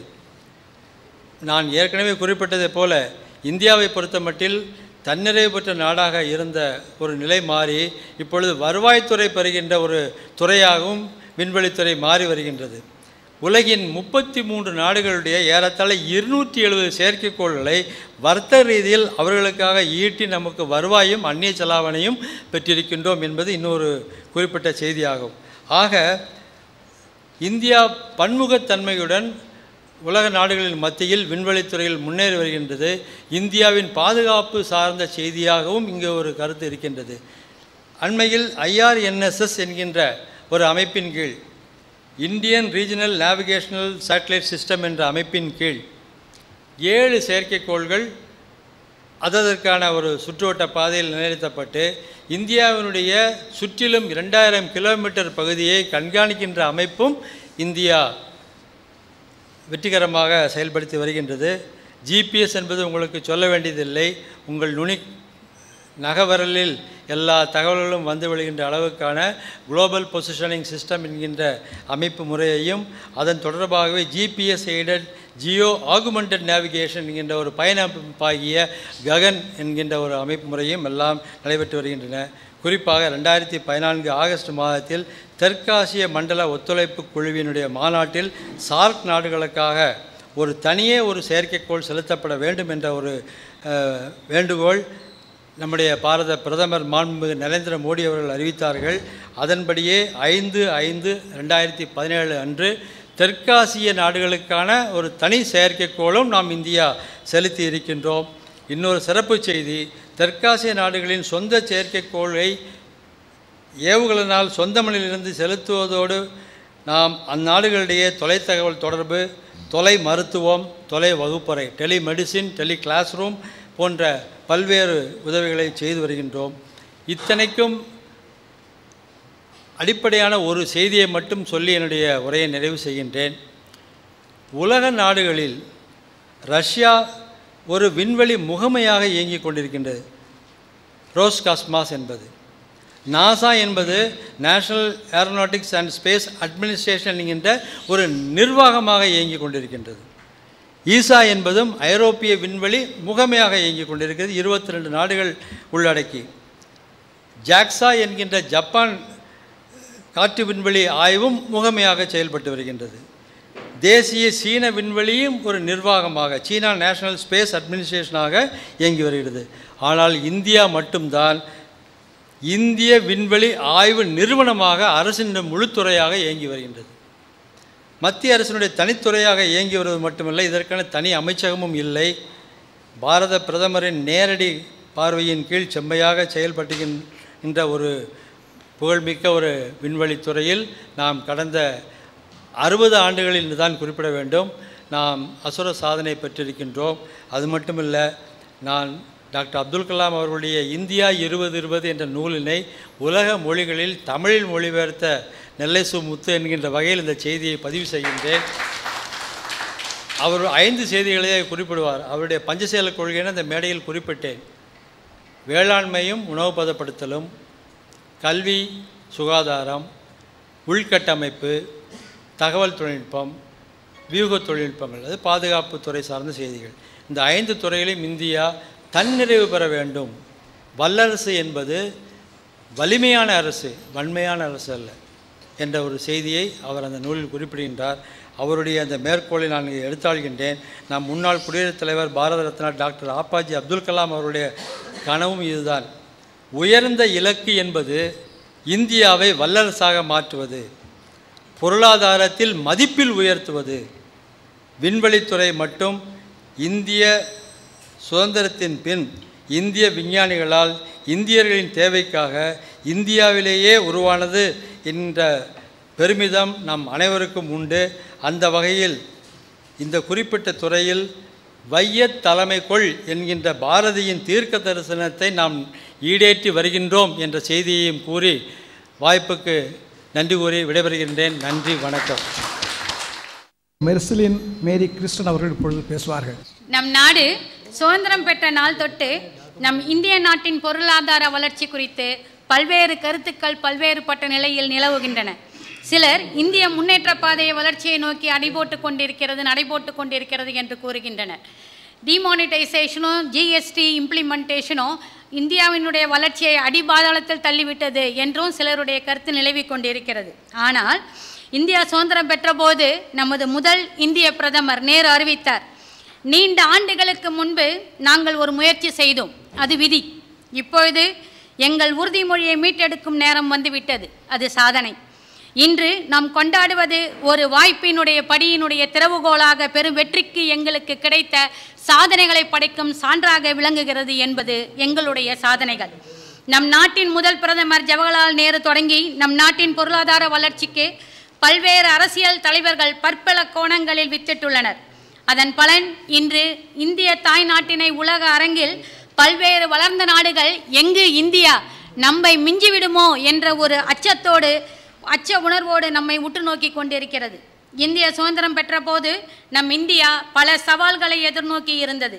கல்வியின்மை கல்வியின்மை அறியாமை உணவு பஞ்சம் வேலையில்லா திண்டாட்டம் ஏழ்மை எதிர்நோக்கப்பட்ட சவால்களை சமாளிப்பதற்கு சமாளிப்பதற்கு எடுக்கப்பட்ட முதற்கட்ட நடவடிக்கை தான் திட்டக்குழு அமைப்பு. பதினைந்து மார்ச் ஆயிரத்தி தொள்ளாயிரத்தி ஐம்பதில் நமது அன்றைய பிரதமர் ஜவஹர்லால் நேரு தலைவராக கொண்டு திட்டக்குழு ஒன்று அமைக்கப்பட்டது. அது முதல் ஐந்தாண்டு திட்டத்தினை ஆயிரத்தி தொள்ளாயிரத்தி ஐம்பத்தொன்று ஐம்பத்தாறு உருவாக்கியது. முதல் ஐந்தாண்டு திட்டத்தின் விவசாயத்திற்கு முதல் ஐந்தாண்டு திட்டத்தில் விவசாயத்திற்கும் நீர்ப்பாசனத்திற்கும் முன்னுரிமை அளிக்கப்பட்டது. ஏனெனில் அன்றைய காலகட்டத்தில் உணவு பஞ்சத்தை நோக்கில் கொண்டு உற்பத்தியில் தன்னிறைவு காணவும் மற்றும் ஒரு நாட்டின் தொழில் வளர்ச்சி இந்திய வளர்ச்சியை விவசாய வளர்ச்சியை சார்ந்தே உள்ளது என்பதனை உணர்த்தும் விவசாயத்திற்கு முன்னுரிமை வழங்கப்பட்டது. முதல் ஐந்தாண்டு திட்ட நல்ல வெற்றியை கொடுத்து உணவு உற்பத்தியில் நம் இந்தியாவை தன்னிறைவு செய்ய சொன்னது. தன்னிறைவு கண்டது. ஆயிரத்தி தொள்ளாயிரத்தி ஐம்பத்தி ஓராம் ஆண்டு வேளாண்மை மற்றும் நீர்ப்பாசனத்தை மையமாக கொண்டு பண்ணை உற்பத்தியை உயர்த்தியது. ஏனெனில் உணவு தானிய இறக்குமதியில் இந்தியா மதிப்பட் ம- மதிப்பற்று வெளிநாட்டு இருப்புகளை எழுந்து வருகிறது. இது அது அதிக சேமிப்பு மற்றும் முதலீடு மற்றும் பொருளாதார வளர்ச்சியை அதிகரிக்க முயன்ற ஹாராடோமர் மாதிரியை அடிப்படையாக கொண்டது. இத்திட்டம் வெற்றிகரமாக அமைந்தது. பொருளாதாரம் ஆண்டுக்கு மூன்று புள்ளி ஆறு சதவீதமாக வளர்ந்து ரெண்டு புள்ளி ஒன்று ச சதவிகித இலக்கை முறியடித்தது. இரண்டாவது ஐந்தாண்டு திட்டம் ஆயிரத்தி தொள்ளாயிரத்தி ஐம்பத்தி ஆறு அறுபத்தி ஒன்றில் இந்தியாவின் நீண்டகால வளர்ச்சி கட்டாயங்களுக்கு சிறப்பாக சேவை செய்ய பொருளாதார நவீனமயமாக்குதலுக்கு அடித்தளத்தை அமைத்து கொடுத்தது. ஆயிரத்தி தொள்ளாயிரத்தி ஐம்பத்தி ஆறாம் ஆண்டில் தொடங்கப்பட்ட இது மகளனோபிஸ் மாதிரியை அடிப்படையாக கொண்டு விரைவான தொ- தொழில்மயமாக்குதலை ஆதரித்து இரண்டாவது ஐந்தாண்டு திட்டம் மற்றும் தொழில் கொள்கை தீர்மானம் பொதுத்துறையின் வளர்ச்சிக்கு வழிவகுத்தது. இது தொழில்களை மூன்று குழுக்களாக வகைப்படுத்தியது. அடிப்படை மற்றும் மூலாய முக்கியத்துவம் வாய்ந்த தொழில்கள் பொதுத்துறையில் மட்டுமே இருக்க வேண்டும். இரண்டாவது குழுவில் அதிக அளவில் அரசுக்கு சொந்தமான தொழில்கள் இருக்க வேண்டும். மூன்றாவது பெரும்பாலும் நுகர்வோர் தொழில்கள் உள்ளடக்கியது. தனியார் துறைக்கு விடப்பட்டது. அதுவும் தொழில் உரிமம் வழங்கும் மூலம் கட்டுப்பாட்டில் வைக்கப்பட்டது. இந்திய இரண்டாம் ஐந்தாண்டு திட்டத்தில் தொழில் வர்த்த வர்த்தக வளர்ச்சியை முக்கியத்துவம் அளிக்கப்பட்டாலும் இதனை நாம் என்னவென்று கூறுவோம் என்றால் நேரு மகளநோபிஸ் திட்டம் என்றே கூறுவர். இதில் பெரும் தொழிற்சாலைகளுக்கு முக்கியம் அளிக்கப்பட்டதால் துர்காப்பூர் ரூர்கேலா இரும்பு எஃகு தொழிற்சாலைகள் அந்த பீரியடிலேயே நம்மளுக்கு ஆரம்பிக்கப்பட்டது. இந்த இரண்டாவது ஐந்தாண்டு திட்டம் எதிர்பார்த்த பலனை கொடுக்கவில்லை. அதனால் நாம் நார்மலாக என்னவென்று சொல்வோம் என்றால் விரைவாக தொழில்மயமாக்குவதற்கான தேடலானது பண்ணை துறையிலிருந்து ஒரு பெரிய நிதி ஒதுக்கீட்டை ஏற்படுத்தியது. இரண்டாவது திட்டத்தில் விவசாய செலவின்மை கிட்டத்தட்ட பதினாலு பர்சன்ட் குறை குறைக்கப்பட்டது. உணவு பற்றாக்குறை மோசமடைந்தது. பணவீக்கம் அதிகரித்தது. உணவு தானியங்களின் இறக்குமதி விலை மதிப்பற்ற அந்நிய செலாவணி இருப்புக்களை குறைத்தது. ஒரு நடுங்கும் பொருளாதாரம் ஐந்தாண்டு திட்டங்கள் சிறிது காலம் இடைநிறுத்தப்பட்டது. இந்த காரணங்களால் மேற்கூறிய காரணங்களால் சிறிது காலம் இடைநிறுத்தப்பட்டு பின்னர் அது இடைநிறுத்தி அதற்கு பதிலாக ஆயிரத்தி தொள்ளாயிரத்தி அறுபத்தாறு மற்றும் அறுபத்தொம்போது இடையில் ஆண்டு திட்டங்களை வகுத்தது. நாடு நீண்ட காலத்தில் வளங்களை செய்யக்கூடிய நிலையில் இல்லாததால் இது செய்யப்பட்டது. சாஸ்திரியினுடைய மரணத்திற்கு பின் பதவிக்கு வந்த இந்திரா காந்தியின் ரூபாய் அவர் இந்திரா காந்தி பதவிக்கு வந்தார். இது அனைவருக்கும் தெரிந்த உண்மை. அவர் வந்த உடனேயே இந்திய நாட்டினுடைய வளர்ச்சியை அதிகப்படுத்துவதற்கு உலக பொருளாதாரத்தில் நம்முடைய இந்திய நாட்டை நிலைநிறுத்துவதற்காக அவர் செ- எடுத்த முதல் கட்ட நடவடிக்கை என்னவென்றால் டிவாலுவேஷன் டிவாலுவேஷன் என்பது என்னவென்று தெரியும் என்று நினைக்கிறேன். டிவாலுவேஷன் என்றால் நமது நாட்டினுடைய ரூபாய் மதிப்பினை ஃபாரினோட கண்ட்ரீஸோட ரூபாய் மதிப்புக்கு வந்து குறைக்கிறத தான் நம்ம என்னன்னு ஃபார் எக்ஸாம்பிள் இப்போ நீங்கள் எடுத்துக்கிட்டிங்கன்னா ஒரு டாலர் வந்து இப்போ ஏழு ரூபாய் ஐம்பது பைசான்னு சொல்கிறோன்னு வச்சுக்கோங்க. டிவாலுவேஷனுக்கு அப்புறம் அது என்ன ஆகும் அப்படின்னு சொல்லிட்டு பார்த்தீங்கன்னா ஒரு டாலரை நம்ம வாங்கினோன்னா பதினேழு ரூபாய் ஐம்பது பைசா கொடுத்தா தான் அந்த ஒரு டாலர் நம்மளுக்கு கிடைக்கும். இதை தான் நம்ம என்னன்னு சொல்லிட்டு சொல்கிறோன்னா டிவாலுவேஷன் அப்படின்னு சொல்லிட்டு சொல்கிறோம் இது முத முத யாரோட பீரியடில் இன்ட்ரடியூஸ் பண்ணப்பட்டுச்சு அப்படின்னு சொல்லிட்டு பார்த்தீங்கன்னா இந்திரா காந்தி மேடம் பீரியடில் தான் வந்து அது இன்ட்ரடியூஸ் பண்ணப்பட்டது. ஆயிரத்தி தொள்ளாயிரத்தி அறுபத்தி ஒம்பது ஜூலை இருபது அன்று பதினாலு வங்கிகளை இந்திரா ம- இந்திரா காந்தி அவர்கள் அன்றைய பிரதமர் இந்திரா காந்தி அவர்கள் தேசியமயமாக்கினார். பெரு வணிகங்கள் கடன் ஓட்டத்தின் பெரும் பகுதிகளை மூடி மறைக்கும் நேரத்தில் விவசாயத்திற்கு கடன் வழங்குவதை துரிதப்படுத்துவதற்காக இந்த நடவடிக்கையின் முக்கிய நோக்கமாக அந்த காலத்தில் கருதப்பட்டது. சுதந்திரத்திற்கு பின் இந்த இந்த மாதிரி நம்ம போய்க்கொண்டு இருக்கும் காலகட்டத்தில் இப்பொழுது நம்ம பன்னிரண்டு ஐந்தாண்டு திட்டங்களை முடித்துவிட்டு பதிமூன்றாவது ஐந்தாண்டு திட்ட காலத்தில் இருக்கிறோம். இதனை நார்மலாக நாம் என்னவென்று சொல்வோம் என்றால் பதிமூணாவது ஐந்தாண்டு திட்டம் எதற்கு முக்கியத்துவம் கொடுக்கிறது என்று கூறினோமேனால் டிஃபென்ஸ் பிளான் என்று கூறலாம். ஏனென்றால் இந்த பதிமூன்றாவது ஐந்தாண்டு திட்டமானது டிஃபென்ஸுக்கு வந்து டிஃபென்ஸ் இம்ப்ரூவ்மெண்ட் ஆர்மி இம்ப்ரூவ்மெண்ட்டுக்கு தான் வந்து நிறைய இம்பார்ட்டன்ஸ் கொடுக்குறாங்க. சுதந்திர சுதந்திரத்துக்கு பின்வரும் இந்தியா இந்திரா இந்திய பொருளாதார வளர்ச்சியினை நாம் இரண்டு கட்டங்களாக பிரிக்கலாம். என்னவென்றால் இந்திய நாற்பத்தைந்து ஆண்டுகளுக்கு முன் சுதந்திரம் அடைந்தது. நாற்பத்தைந்து ஆண்டுகளுக்கு பின் முதல் பாகத்தில் இந்தியா வந்து எந்த விதமான சிஸ்டத்தை ஃபாலோ பண்ணிட்டு இருந்தாங்க அப்படின்னு சொல்லிட்டு பார்த்தோம்னா மிக்சட் எக்கானமி அப்படின்னு சொல்லுவோம். கலப்பு பொருளாதாரம் கொள்கையை பின்பற்றியது. அப்போது இந்தியாவினுடைய தனிநபர் வருமானம் சுமார் ஒரு பர்சன்ட் வருடாதார விகிதத்தில் அதிகரித்துள்ளது. இரண்டாம் பாகத்தில் இந்திய பொருளாதார கொள்கை மாற்றம் செய்யப்பட்டு தடையற்ற பொருளாதாரம் மற்றும் தனியார் மயமாக்கலால் பொருளாதார வளர்ச்சி ஊக்குவிக்கப்பட்டது. ஆயிரத்தி தொள்ளாயிரத்தி எண்பதுகளின் நடுப்பகுதியில் இருந்து பொருளாதாரம் தனி த- தாராளமயமாக்குதல் மூலம் இந்தியா மெதுவாக சந்தைகளை வெளிநாட்டு மூலதனத்திற்கு திறந்துள்ளது. உங்களுக்கு அனைவருக்கும் தெரியும் இந்திரா காந்தியினுடைய மரணத்திற்கு பின்னர் ராஜீவ் காந்தி வந்து பிரதமரானார். ராஜீவ் காந்தி தான் முத முத வந்து தனியார் மயமாக்கடானது இன்ட்ரடியூஸ் பண்ணப்பட்டது. அதுக்கு முன்னாடி வரைக்கும் ஃபுல்லாக நம்ம எல்லாருமே எந்த சிஸ்டத்தில் இருந்தோம்னாக்கா சோஷியலிஸ்ட் பேட்டர்ன் ஆஃப் த சொசைட்டின்ற மாதிரி சோஷியலிசம் பேட்டர்னில் தான் இருந்துட்டு இருந்தோம். ராஜீவ் காந்தி பீரியடுக்கு அப்புறம் தான் வந்து அந்த இது கம்ப்ளீட்டாக ஷிஃப்ட் ஆகி சோஷியலிசத்துலேருந்து எந்த பேட்டர்னுக்கு வந்தது அப்படின்னு பார்த்தோம்னாக்கா கேபிட்டலிசம் பேட்டர்னுக்கு வந்து தனியார் மயமாக்கல்னாலே அது கேபிட்டலிஸ்ட் பேட்டர்ன் தான் அது. அந்த சிஸ்டத்துக்கு வந்து போயிட்டு இருந்தது. மேலும் அடிப்படை திருத்தங்கள் ஆயிரத்தி தொள்ளாயிரத்தி தொண்ணூற்றி ஒன்றில் இருந்து மேலும் அடிப்படை திருத்தங்கள் மற்றும் இருபது ரெண்டாயிரத்தில் அவை புதுப்பிக்கப்பட்டுள்ளன.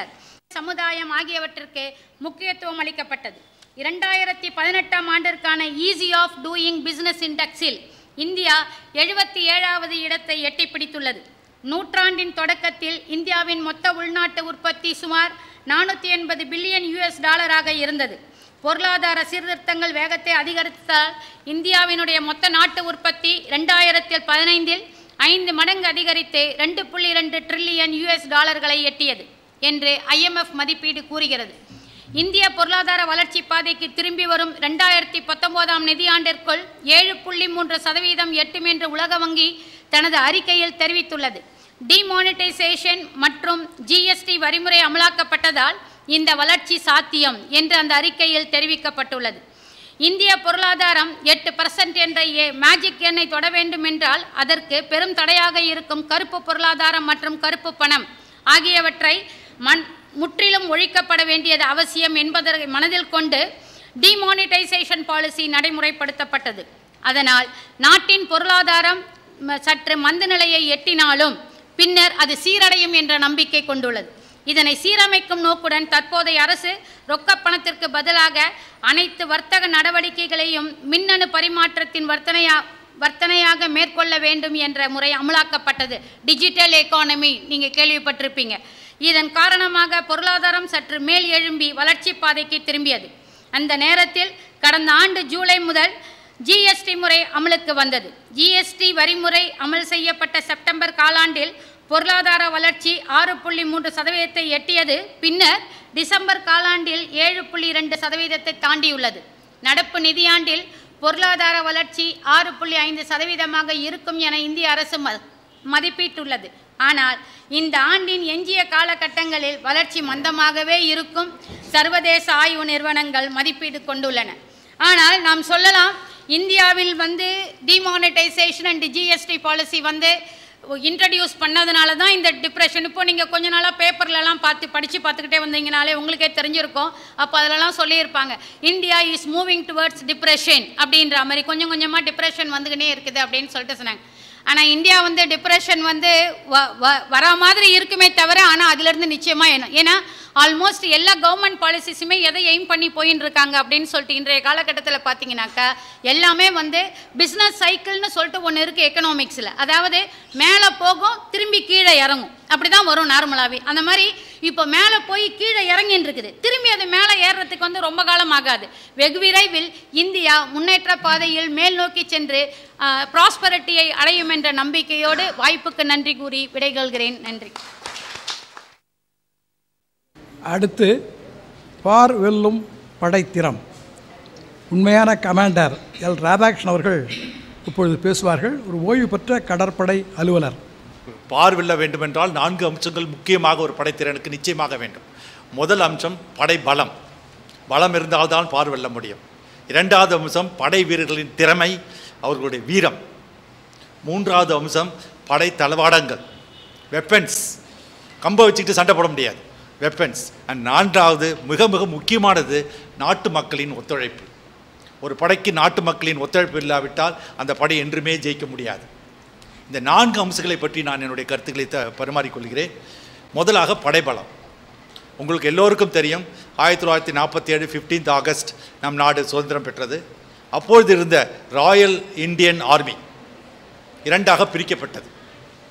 ஒன்று இந்தியன் ஆர்மி இன்னொன்று பாகிஸ்தான் ஆர்மி. என்று இரண்டாக பிரிக்கப்பட்டது. நம் பாகப்பிரிவினை என்று சொல்வார்கள் அதே மாதிரி பாகப்பிரிவினை பெற்றது. அந்த பாகப்பிரிவினையில் நார்த்தர்ன் கமாண்ட் வட மாநிலத்தில் இருந்த கமாண்ட் பாகிஸ்தானுக்கு கொடுக்கப்பட்டது. Southern command and eastern command இந்தியாவுக்கு கொடுக்கப்பட்டது. இப்படி தான் பாகப்பிரிவினை நடந்தது. இருந்தாலும் மேலும் கிட்டத்தட்ட ஒரு பதினாலு மா மாதங்களுக்கு இந்தியாவின் ஆர்மியின் தலைமை ஒரு இங்கிலீஷ்காரனிடம் தான் இருந்தது. General Francis Bucher was the chief of army staff அப்பொழுது என்ன சொல்வார்கள்? கமாண்டர் இன் சீஃப் என்று சொல்வார்கள். Fifteenth January nineteen forty nine ஒரு சுத்த இந்தியர் ஃபீல்டு மார்ஷல் கரியப்பா அவர்கள் நம்மளுடைய நாட்டின் இராணுவ தளபதியாக பொறுப்பேற்றார். அவருடைய நினைவாக அவர் பொறுப்பேற்ற நினைவாக 15 ஜனவரி நைன்டீன் ஃபார்ட்டி நைன் பொறுப்பேற்ற நினைவாக ஒவ்வொரு ஆண்டும் 15 January army day is being celebrated அன்று தொடங்கி இன்று வரை நம் இராணுவம் மிக மிக வளர்ச்சி அடைந்துள்ளது. உலகத்திலே இரண்டாவது பெரிய இராணுவம் நமது இராணுவம். இராணுவம் வந்து பெரியாதாக இருந்தால் மட்டும் போராது. திறமையுடையதாக இருக்க வேண்டும். அது நிச்சயமாக நம்முடைய இராணுவம் திறமையுடையதாக இருக்கிறது. ஏனென்றால் உலகத்திலே ஒரு இராணுவம் மைனஸ் அவர் சொன்ன மாதிரி தேர்ட்டி டிகிரிஸ் சைச்சின் மலை உச்சியில் அங்கே வந்து பனி உறையவது மைனஸ் தேர்ட்டி டிகிரிஸ் அங்கு நின்று நம்ம இராணுவ வீரர்கள் போராடி கொண்டிருக்கிறார்கள். அதே நேரத்தில் ஈஸ்டரில் போக்ரான் ராஜஸ்தான் டிசர்ட் ஐம்பது யாரோ நாற்பத்தஞ்சு டிகிரின்னு சொன்னாங்க. அங்கே மினிமம் ஐம்பது ஐம்பத்தஞ்சு டிகிரி. வெயில். இரவில் திடீரென்று நாலு டிகிரி மூணு டிகிரி. தட்ப வெளப்பில் எப்படி மாறுகின்றது சொல்லுங்கள். காலையில் நீங்கள் ஒரு சட்டை கூட போடாமல் நிற்கணும். நைட்டில் நாலு சட்டை போட்டாலும் குளிரும். அந்த இடத்திலையும் நம் வீரர்கள் போரிட்டு போரை வென்றிருக்கிறார்கள். அது மாத்திரமில்லை நார்த் ஈஸ்ட் செவன் ஸ்டேட்ஸ் என்று சொல்வார்கள். ஏழு சகோதரிகள். முக்கியமாக நம்ம இந்தியாவில் கூட முக்கியமாக நார்த் ஈஸ்ட் பார்த்து பார்த்துருக்க மாட்டீர்கள். மணிப்பூர் மேகாலயா அசாம் என்று நிச்சயமாக போய் பாருங்கள். ரொம்ப அழகான இயற்கையின் வளம் நிறைந்த இடம் காடுகள் நிறைந்தது. அருணாச்சல பிரதேசம் மலைமுட்டுகள் நிறைந்தது. பயங்கர காடுகள் நிறைந்தது. Jungle warfare Indian army is one of the best இந்த jungle warfare minus forty degrees or sixty degrees fifty five degrees plus fifty five degrees பாம்புகளும் பூச்சிகளும் இருக்கும் காடுகள் மூன்றிலும் சிறந்து விளங்கிய இந்தியன் ராணுவத்திடம் பயிற்சி பெறுவதற்கு யார் வருகிறார்கள் என்றால் USA army comes to train for us with every year அவர்களும் இந்த மாதிரி கல்வெட்டு கிடையாது. அவர்களும் இருக்கிறது டெக்சாஸில். பாலைவனம் இருக்கிறது. ஆனால் மைனஸ் தேர்ட்டி டிகிரிஸ் இருக்கிற இடம் இல்லை. காடுகள் நிறைந்த இடம் இல்லை. அதனால் நம் நாட்டிற்கு அவர்கள் பயிற்சிக்காக வருகிறார்கள். அண்ட் போன வருடம் டெக்சாஸ் மாநிலத்தில் பானைவளத்தில் பனிரெண்டு நாடுகள் ஒரு போட்டி பயிற்சி நடக்கப்பட்டது. தட் இஸ் கம்பைன்டு எக்ஸசைஸ் விகால் அந்த போட்டி பயிற்சியில் நாம் இராணுவ வீரர்கள் முதல் பரிசை தட்டி சென்றார்கள். எங்கு தொடங்கினோம்? இரண்டே இரண்டு கமாண்ட் சதர்ன் கமாண்ட் ஈஸ்டர்ன் கமாண்டில் தொடங்கி இன்று உலகத்திலேயே ஒரு வெளிநாட்டில் வெளிநாட்டு பாலைவனத்தில் முதல் பரிசை பெற்ற நாடும் நமது நாடும். அவ்வளவு சிறந்த நாடும் தான் உலகத்திலே சிறந்ததாக நம் நாடும் இருக்கிறது. ரொம்ப ரொம்ப முக்கியம். அடுத்தது கப்பற்படைக்கு வருவோம். பிரிவினை போது கப்பற்படையில் ஒன்றுமே இல்லை. கப்பல் படையில் அவ்வளோ அதிகமாக கப்பல்களும் இல்லை. இருக்கும் கப்பலை ஏதோ இருக்கிறத கொஞ்சம் பிரித்து நமக்கு கொடுத்தாங்க கொஞ்சம் பாகிஸ்தான் கொடுத்தாங்க. ஒரு இருபது இருபத்தஞ்சு கப்பல் நமக்கு கிடச்சிருக்கும் அதான். நீர்மொழிகளை பத்து பேர் நமக்கு ஒன்றுமே தெரியாது. பட் இன்று நம் கப்பற்படையில் நூற்றி இருபத்தஞ்சு கப்பல்கள் பதினஞ்சு டீசல் நீர்மூழ்கி கப்பல்கள் ரெண்டு அணுசக்தி நீர்மூழ்கி கப்பல்கள் முந்நூற்றி இருபத்தஞ்சு ஹெலிகாப்டர்ஸ் ஏர்கிராஃப்ட்ஸ் ரெண்டு ஏர்கிராஃப்ட் கேரியர்ஸ் இப்பொழுது ஒன்று தான் இருக்கிறது ஐஎன்எஸ் விக்ரமாதித்யால் அதாவது விமான தாங்கி கப்பல்கள். இன்னொரு விமான தாங்கி கப்பல் இப்போது கொச்சினில் கட்டப்பட்டிருக்கிறது. அதை பற்றி நான் பிறகு சொல்கிறேன். விமானி தாங்கிய கப்பல் இருக்கிறது. இவ்வளவு சிறந்த ஒரு பெரிய போ கப்பற்படையாக இருக்கிறது. What we call the blue water navy blue water somebody யாரோ சொன்னார்கள் நீல புரட்சி என்று. சார் அவர்கள் அழகாக சொன்னார்கள் வெள்ளை புரட்சி நீல புரட்சி பச்சை புரட்சி என்று. நீல புரட்சி என்றால் என்ன? ப்ளூ எக்கனாமி அப்படி என்றால் என்ன? கடல் கடல் சார்ந்த எக்கனாமி கடல் சார்ந்த பொருளாதாரம். அது நாட்டிற்கு மிகவும் மிக முக்கியம். கடலில் வந்து நிறைய மீன் வளம் இருக்கிறது. அவர் சொன்ன மாதிரி மீன் வளம் இருக்கிறது. க கப்பல் கட்டும் துறைகள் இருக்கின்றன. அதில் வேலை வாய்ப்புகள் இருக்கின்றன. துறைமுகங்கள் இருக்கின்றன. அதை விட முக்கியம் கடலில் கனிமண் க oil minerals are available in all உலக நாட்டிலேயே மொத்தம் நாலு நாடுகளுக்கு தான் ஓஷன் மைனிங் பிரைமியர் என்ற சர்டிஃபிகேட் கிடைத்திருக்கிறது. இந்தியாவிற்கு கடலில் ஆய்வு செய்து கடலிலிருந்து கனிமலை எடுக்கக்கூடிய ஒரு சர்டிஃபிகேட் உடைய நாடு இந்தியா. அதை தக்க வைத்துக் கொள்வதற்கு நமக்கு ஒரு ப்ளூ வாட்டர் நேவி வேண்டும். நாம் இல்லாவிட்டால் அவர்கள் வந்து எடுத்து சென்று விடுவார்கள். முக்கியமாக நமக்கு லட்சத்தீப் இந்த பக்கம் அந்த பக்கம் அந்தமான் ஐலாண்ட். அதை சுற்றி மீன் வளம் நிறையாக இருக்கிறது. கனி வளம் நிறையாக இருக்கிறது. கண்ணை மூடினால் மற்றவர்கள் இருந்து எடுத்து சென்று விடுவார்கள். அதை காப்பதற்கு எனக்கு சிறந்த கப்பற்படை வேண்டும். நீங்கள் அந்த காலத்தில் கதையெல்லாம் படிச்சிருப்பீங்க. இந்த கடல் புறான கதை எப்படி கடல் கொள்ளையர்கள் வந்து எல்லாரையும் அடித்து கொண்டு போனாங்கன்னு அதெல்லாம் அந்த காலம் நினைக்கும் இன்றும் கடல் கொள்ளைகள் இருக்கிறார்கள். நம் நாட்டு வர்த்தக கப்பலை தாக்குகின்றார்கள் ஆனால் அந்த வர்த்தக கப்பலோடு நம்மளோட ஒரு சிறிய ஒரு கப்பற்படை கப்பல் சென்றால் இருக்கும் இடம் துண்டை காணும் துணியை காணும்னு ஓடிடுவாங்க. அவ்வளோ பயம். நாட் ஓன்லி நம்மளுக்கு அவர் சார் சொன்ன மாதிரி நம்ம நாட்டு சேட்டலைட் மாடல் வெளிநாட்டுகள் வந்து காத்திருக்கிறார்கள். அது மாதிரி வெளிநாட்டு கப்பல்கள் வி- வணிக கப்பல்கள் நம் நாட்டு கப்பற்படையை வந்து எங்களுக்கு காவந்து தாருங்கள். நாங்கள் கடந்து செல்ல வேண்டும். இந்த பைரட் இன்ஃபெக்டட் ஏரியா கடற்கொள்ளைகள் இருந்த ஏரியாவை நாங்கள் கடந்து செல்ல வேண்டும் என்று சொல்லுகிறது. நட்பு கரங்கள் நீட்டுகின்றன. முக்கியமாக அது.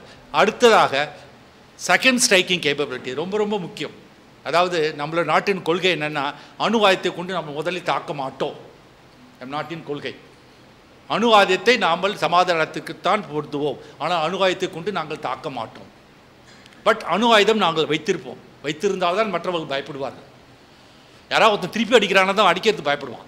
சோஞ்சானா இருந்தால் பட்டு பட்டு அடிச்சுட்டே இருப்பான். அந்த வடிவேலை போட்டு அடிப்பாங்க பாருங்கள் அதே மாதிரி அடிச்சிட்டு இருப்பான். பட் திருப்பி அடிப்பான்னா எல்லாம் பயப்படுவான். பட் திருப்பி அடிக்கிறதுல என்ன ப்ராப்ளம்னா அணு ஆயுதங்கள் மூன்று விதமாக எதிரிகளை தாக்க உபயோகப்படுத்தலாம். ஒன்று லேண்ட் பேஸ்டு பிளாட்ஃபார்ம் அதாவது தரையிலிருந்து தாக்குவது. ஆர்மி வெஹிக்கிளிலிருந்து பிரம்மோஸ் மிசைல் அணு அணு டிப்டு பிரம்மோஸ் மிசைலை வைத்து தாக்கலாம். அல்லது விமானத்தில் ஃபைட்டர் ஏர்கிராஃப்டை வைத்து தாக்கலாம். இதில் இரண்டிலும் என்ன ஒரு கடினமான என்றால் லேண்ட் பேஸ்டு எங்கே இருந்தாலும் ஐஎஸ்ஆர்ஓ சயின்டிஸ்ட் சொன்ன மாதிரி சாட்டிலிருந்து கரெக்டாக குறிப்பாக சொல்லிவிடுவார்கள்.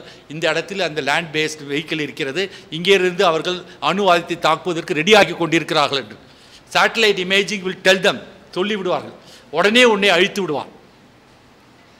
ஆர் நீ விமானத்தை எடுத்து கிளம்பி போவதற்குள் அவருடைய விமானம் வந்து உன்னை தாக்கிவிடும். பட் கடலுக்குள்ளிருந்து நீ தாக்கினால் அவனுக்கு நீ கடலில் எங்கே இருக்கேனே தெரியாது. இஃப் நீர்மூழ்கி கப்பலிலிருந்து செல்லப்படுகின்ற ஒரு launched missile from a submarine under the water submarine அவனால் கண்டுபிடிக்கவே முடியாது. மாபெரும் கடல் இந்த பக்கம் அரேபியன் சி இந்த பக்கம் பே ஆஃப் பெங்கால் அந்த பக்கம் Indian Ocean and we have continental missiles ரெண்டாயிரத்தி ஐநூறு கிலோமீட்டர் சைனாக்காரன் நம்மளை தாக்குவதற்கு முன் நாலு தடவை யோசிப்பான். அந்த நீர்மூழ்கி கப்பலை தாக்குவதற்கு நமக்கு நல்ல சிறந்த நீர்மூழ்கி கப்பல்கள் தேவை. ஒன்று வந்து டீசல் சம்பரி. நான் சொன்ன மாதிரி பதினஞ்சு டீசல் சம்பரிகள் இருக்கின்றன. ஆனால் டீசல் சம்பரிகளில் என்ன பெரிய ப்ராப்ளம் என்றால் டீசல் உங்களுக்கு தெரியும் ஒரு கார்லேயோ இல்லை ஸ்கூட்டர்லையோ டீசல் யூஸ் பண்ணால் கொஞ்ச நேரத்தில் புகை வரும். காற்றுல புகை போயிடுது. நீ கடலுக்குள்ளே உட்காந்து புகை வந்ததுன்னா கொஞ்ச நேரம் சம்பரி முழுக்க புகை ஆகிடும் இதுக்குள்ள செத்து போயிடும் அதனால் அட்லீஸ்ட் ஒரு நாற்பத்தெட்டு நேரத்துக்கு முன்னாடி மேலே வந்து அந்த பெரிஸ்கோப் டெப்த்துன்னு சொல்லுவாங்க. அந்த பெரிஸ்கோப்பை வெளியே எடுத்து அது வழியாக அந்த புகையை வெளியே தள்ளிட்டு சுத்த ஆக்சிஜனை உள்ளார எடுத்துட்டு மறுபடியும் போகணும். நீர்மூழ்கி கப்பல் வந்து ஒரு முதல்ல மாதிரி. தண்ணியில் இருக்கிற வரைக்கும் தான் அதுக்கு பலம். முதல்ல தண்ணியை விட்டு கரையில் வந்துச்சுன்னா அடிச்சு போட்டுருவாங்க. கொள்ளிடத்தில் நீங்கள் பார்ப்பீங்க அடிச்சு போட்டுருவானுங்க. தண்ணியில் இருக்கிற வரைக்கும் தான் அதுக்கு பலம். அந்த தண்ணியில் இருக்கிறதுக்கு அது கண்ணியில் அடியில் இருந்தால் கண்டே பிடிக்க முடியாது. பட் கடலுக்கு மேலே நீங்கள் துளியோடு தலையிட்டினாலும் சேட்டலைட்டால் கண்டுபிடிச்சிருவோம் இந்தியன் சம்மரின் இங்கே இருக்கிறது என்று. கண்டுபிடித்து விட்டால் சம்மரின் அழிப்பது ரொம்ப ஈஸி ஏன்னா சம்மரின் வந்து கடலுக்குள் வேகமாக பன்னெண்டு நாட்டு அல்லது இருபது நாட்டு நாங்கள் கப்பற்படியில் ஸ்பீடை வந்து நாட்டிக்கல் மைல்ஸ் என்று சொல்லுவோம். அது ஒரு மைலை விட கொன்று கொஞ்சம் கூட. ஒரு கப்பலின் வேகம் நாற்பது நாட்ஸ் ஐம்பது நாட்ஸ் அறுபது நாட்ஸ் கூட இருக்கிறது. ஒரு நாள் கப்பல் துரத்தி சென்று சம்மரினை ஈஸியாக அழித்து விடும் ஆனால் அணு ஆயுதம் தாங்கிய நீர்மூழ்கி கப்பல் ஆறு மாதம் கூட கடலுக்குள் இருக்கலாம். புகை கிடையாது. நம்மளிடம் இரண்டு அணு ஆயுத நீர்மூழ்கி கப்பல் இருக்கின்றன அதை உண்டாக்குகின்ற ப்ரொபல்சல் சிஸ்டம் நம் கல்பாக்கத்தில் உருவாக்கப்படுகிறது. தமிழ்நாட்டுக்கும் நம் தாய்நாட்டிற்கும் மிக பெருமை. ஆறு மாதத்தில் இருக்கிற கடலில் இருக்கும் நீர்மூழ்கி கப்பலை எதிரிகளால் கண்டே பிடிக்க முடியாது. ஏன்னா கடலுக்குள் நீ இருக்கும் ஒரு பொருளை கண்டுபிடிக்க வேண்டும் என்றால் ஃபிசிக்ஸ் படித்தவர்களுக்கு நிச்சயமாக தெரியும். உங்களுடைய ரடார் அதாவது செ- எந்த இதுவும் உள்ளே போகாது. ஒன்லி சவுண்ட் சவுண்டு ஒன்லி தான் பூமிக்கு தண்ணிக்கு அடியில் நீச்சல் கீழே போகும். மற்ற எதுவுமே கீழே போகாது. சவுண்டு அடியில் போனாலும் அந்த வௌவாலை சொல்லுவாங்களே ஒளியை அனுப்பிச்சு ஒளியை திருப்பி வச்சு அதில் நேராக இருக்கா மறைக்குதாங்கிற மாதிரி. சவுண்டு கடையில் போனாலும் கடலில் ஏதாவது இருந்தால் அதில் பட்டு திரும்பி வரும். அதை வைத்து நீ கடையில் என்ன இருக்குன்றால் பட் கடையில் இருக்கல என்ன வேணால் இருக்கலாம். கல் இருக்கலாம் பழைய நங்கூரங்கள் இருக்கலாம். அதனால் ஒரு நங்கூரமாக கடலாக பெரிய மீனா அல்லது உண்மையான சம்மரினால் கண்டுபிடிக்கிறதுக்குள்ள அவனுக்கு தாவு செஞ்சிடும் புரியுதா? அந்த சக்தியுடைய கப்பற்படையாக நம் கப்பற்படை நின்று இருக்கிறது. அடுத்ததாக விமானப்படை. டக்கோட்டா விமானம் நம் நாடு பிரிந்த போது டக்கோட்டா விமானம் பொப்பல் விமானம். டொக்க டொக்க டொக்க கிளம்புறதுக்கே அரை மணி நேரத்துக்கு ஆகும். அந்த பொப்பளத்தை போய் சுற்றணும் சுற்றி விட்டு அதை எழுத்து உட்காந்துணும் உட்காரத்துக்குலாம் சீட்டு கிடையாது. நாங்கள்லாம் போகிறப்போ சின்ன வயசில் ட்ரைனிங் போது ஒரு இடத்துல இன்னொரு இடத்துக்கு டக்கோட்டா விமானம் தான் எங்களை எல்லாம் அனுப்புவாங்க. அங்கே உட்காரத்துக்கு சீட்டு கிடையாது. பக்கெட் சீட் மாதிரி இருக்கும். அதில் போட்டு நம்ம கயிறை வச்சு கட்டிக்கணும். இதெல்லாம் கிடையாது. கயிறு வச்சுட்டு விழுந்துருவீங்க இல்லாட்டி. ஃப்ரிட்ஜெல்லாம் சின்ன சின்ன ஃப்ரிட்ஜ் இருக்கும். அதெல்லாம் கட்டி வைப்பாங்க. அது கிளம்பி போனால் தான் சில சமயம் வந்து வெயிட் தாங்காமல் ஃப்ரிட்ஜெல்லாம் தூக்கி வெளியே போட சொல்லிடுவாங்க. ஏன்னா வெயிட் ஜாஸ்தி ஆகிடுச்சு அப்படின்னு. அதே மாதிரி ஒரு ஆஃபீஸர் வந்து டிரான்ஸ்போர்ட்டில் லீவில் வந்து இது டிரான்ஸ்ஃபரில் வந்து அவர் லக்கேஜ்லாம் எவரையோ பிடிச்சி அந்த விமானத்தில் போர்ட்பிளேலேருந்து இந்த மெயின் லேண்டுக்கு அனுப்பிச்சார். அனுப்பிச்சார். நடுவழியில் எதுவும் ஆயிடுச்சுன்னா அவர் லக்கேஜ்லாம் தள்ளி விட்டாங்க கடலில். அதே மாதிரி கஷ்டப்பட்ட விமானம். ஆனால் இன்று நம் விமானப்படையில் இருக்கும் விமானங்கள் Rafale high Apache helicopters striking helicopters they can strike anything and heavy lifting Chanchuad helicopters they can lift a tank நீங்கள் பேப்பரில் படித்திருப்பீர்கள். சைனா வந்து கொஞ்ச நேரம் ஒரு போன வருடத்துக்கு முன் ஐ திங்க் ஒரு பத்து பதினஞ்சு மாதத்துக்கு முன்னால் பூட்டான் பாடலில் வந்து நின்று கொண்டு இந்த ஏரியா எங்களுக்கு சொந்தம் என்று சொந்தம் கொண்டாடினார்கள். அப்பொழுது இந்தியன் ஆர்மி பூட்டானுக்கு துணையாக சென்றது. அங்கு நின்றது. அங்கே இருக்கிற அந்த மலை பிரதேசத்தில் நம்மளுடைய அந்த heavy lifting aircraft helicopters has taken our army tanks to that place அப்போது சைனாவுடைய வெளிநாட்டு மந்திரி சொன்னார் இந்தியா ஆயிரத்தி தொள்ளாயிரத்தி அறுபத்தி ரெண்டு போரை மறந்திருக்க மாட்டார்கள் என்று. ஏன்னா ஆயிரத்தி தொள்ளாயிரத்தி அறுபத்தி ரெண்டு போரில் நாம் படு தோல்வி அடைந்தோம். அதற்கு காரணத்தை பிறகு நான் பிறகு சொல்கிறேன். அறுபத்தி ரெண்டு தோல்வினோம். பட் நம் நாட்டு வெளியுறவு மந்திரி சொன்னார் அப்பொழுது இருந்த இந்தியா வேறு இப்பொழுது இருந்த இந்தியா வேறு என்று. அதை கேட்டவுடனே சைனா பின்னாடியே போய்விட்டது. அத்த சிறந்த விமானப்படை நம்மிடம் இருக்கிறது. ஆகவே படைபலம் பார்வெல்லும் படைபலம் என்றால் அது முக்கியமாக முக்கிய வேண்டும். ஆர்மியோடைய பலம் கப்பற்படையோட blue water navy and also satellite based விமானப்படை அடுத்தது படை வீரர் படை மாத்திரம் இருந்தால் போருமா? இதை சொல்லுவாங்க man behind the machine is very important மிஷினை வச்சுக்கிட்டு எனக்கு எல்லாம் தெரியும். இப்போ என்கிட்ட மொபைல் இருக்குது பட் பாதி தெரியாத பையனை தான் கேட்பேன் எப்படி ட்ரா பண்ணுறது அப்படின்னு. அதுமாரி man behind the machine is very very important நம் படை வீரர்களின் திறமை படை வீரர்களின் வீரம் அது ரொம்ப முக்கியம். ஆயிரத்தி தொள்ளாயிரத்தி நாற்பத்தி ஏழில் ஆகஸ்ட்டில் நமக்கு சுதந்திரம் கிடைத்தது. அப்பொழுது நடந்த இனவெறியில் பல மக்கள் இருந்தார்கள் இந்தியாவும் பாகிஸ்தானும் அது ரொம்ப பிஸியாக இருந்தார்கள். ஆனால் அக்டோபர் ஆயிரத்தி தொள்ளாயிரத்தி நாற்பத்தி ஏழில் பாகிஸ்தான் ஆர்மி சடன்லி ஸ்ரீநகரை தாக்கியது. யாரும் எதிர்பார்க்காத நேரத்தில் ஸ்ரீநகரை தாக்கியது. அப்பொழுது மேஜர் சோமநாத் சர்மா என்ற ஒரு ஆஃபீஸர் வெறும் ஐம்பது ஆட்களை வைத்துக்கொண்டு ஸ்ரீநகருடைய விமானத்தளத்தை காப்பாற்றினார். அன்று அந்த விமானத்தளத்தை காப்பாற்ற விட்டால் பாகிஸ்தானது விமானத்தளத்தை பிடித்திருந்தால் மெயின்லேண்டுக்கும் ஸ்ரீநகருக்கும் போட்ட ஒரே ஒரு இது அந்த விமானத்தளம் தான் இன்று Jammu Kashmir would have be not POK occupied Kashmir it will be full occupied Kashmir அந்த ஒரு ஆஃபீஸர் மைதரா சோம்நாத் சர்மா அவரை சுற்றி அவர் செய்த கடைசி மெசேஜ் நான் சொல்கிறேன் அவர் வார்த்தையில் என்னை சுற்றி மூன்று பக்கமும் வீரர்கள் எதிரிகள் இருக்கின்றார்கள். எங்களை விட பத்து மடங்கு எதிரிகள் இருக்கின்றார்கள். ஆனால் எங்களிடம் அத்தனை எதிரிகள் இல்லை. ஆனால் கடைசி உயிர் இருக்கும் வரை கடைசி துப்பாக்கியில் தோட்டா இருக்கும் வரை நாங்கள் விட்டு கொடுக்க மாட்டோம். நம் தாய்நாட்டின் ஒரு இன்ச்சை கூட நான் விட்டு கொடுக்க மாட்டோம் என்று அவர் இருந்தார். அந்த தலைமை செய்திருக்கு. அப்படியே செய்து காட்டினார். இந்த எதிர்பார்க்காத பாகிஸ்தான் நம்மை பின்வாங்கியது ஜம்மு காஷ்மீர் நம்மளிடம் இருக்கிறது. அந்த வீரம்தான் அன்று தொடங்கிய வீரம் ஆயிரத்தி தொள்ளாயிரத்தி அறுபத்தி ரெண்டிலும் தொடங்கியது. அறுபத்தி ரெண்டில் நம் வீரர்கள் Arunachal பிரதேசில் minus ten degrees minus five degrees காலில் போட்டுக்கு கூட பூட்ஸ் கிடையாது. ஸ்னோ பூட்ஸ் கிடையாது. ஒரு செப்பலை போட்டு வைக்க போ- இதை வச்சு கட்டிக்கிட்டு சண்டை போட்டாங்க.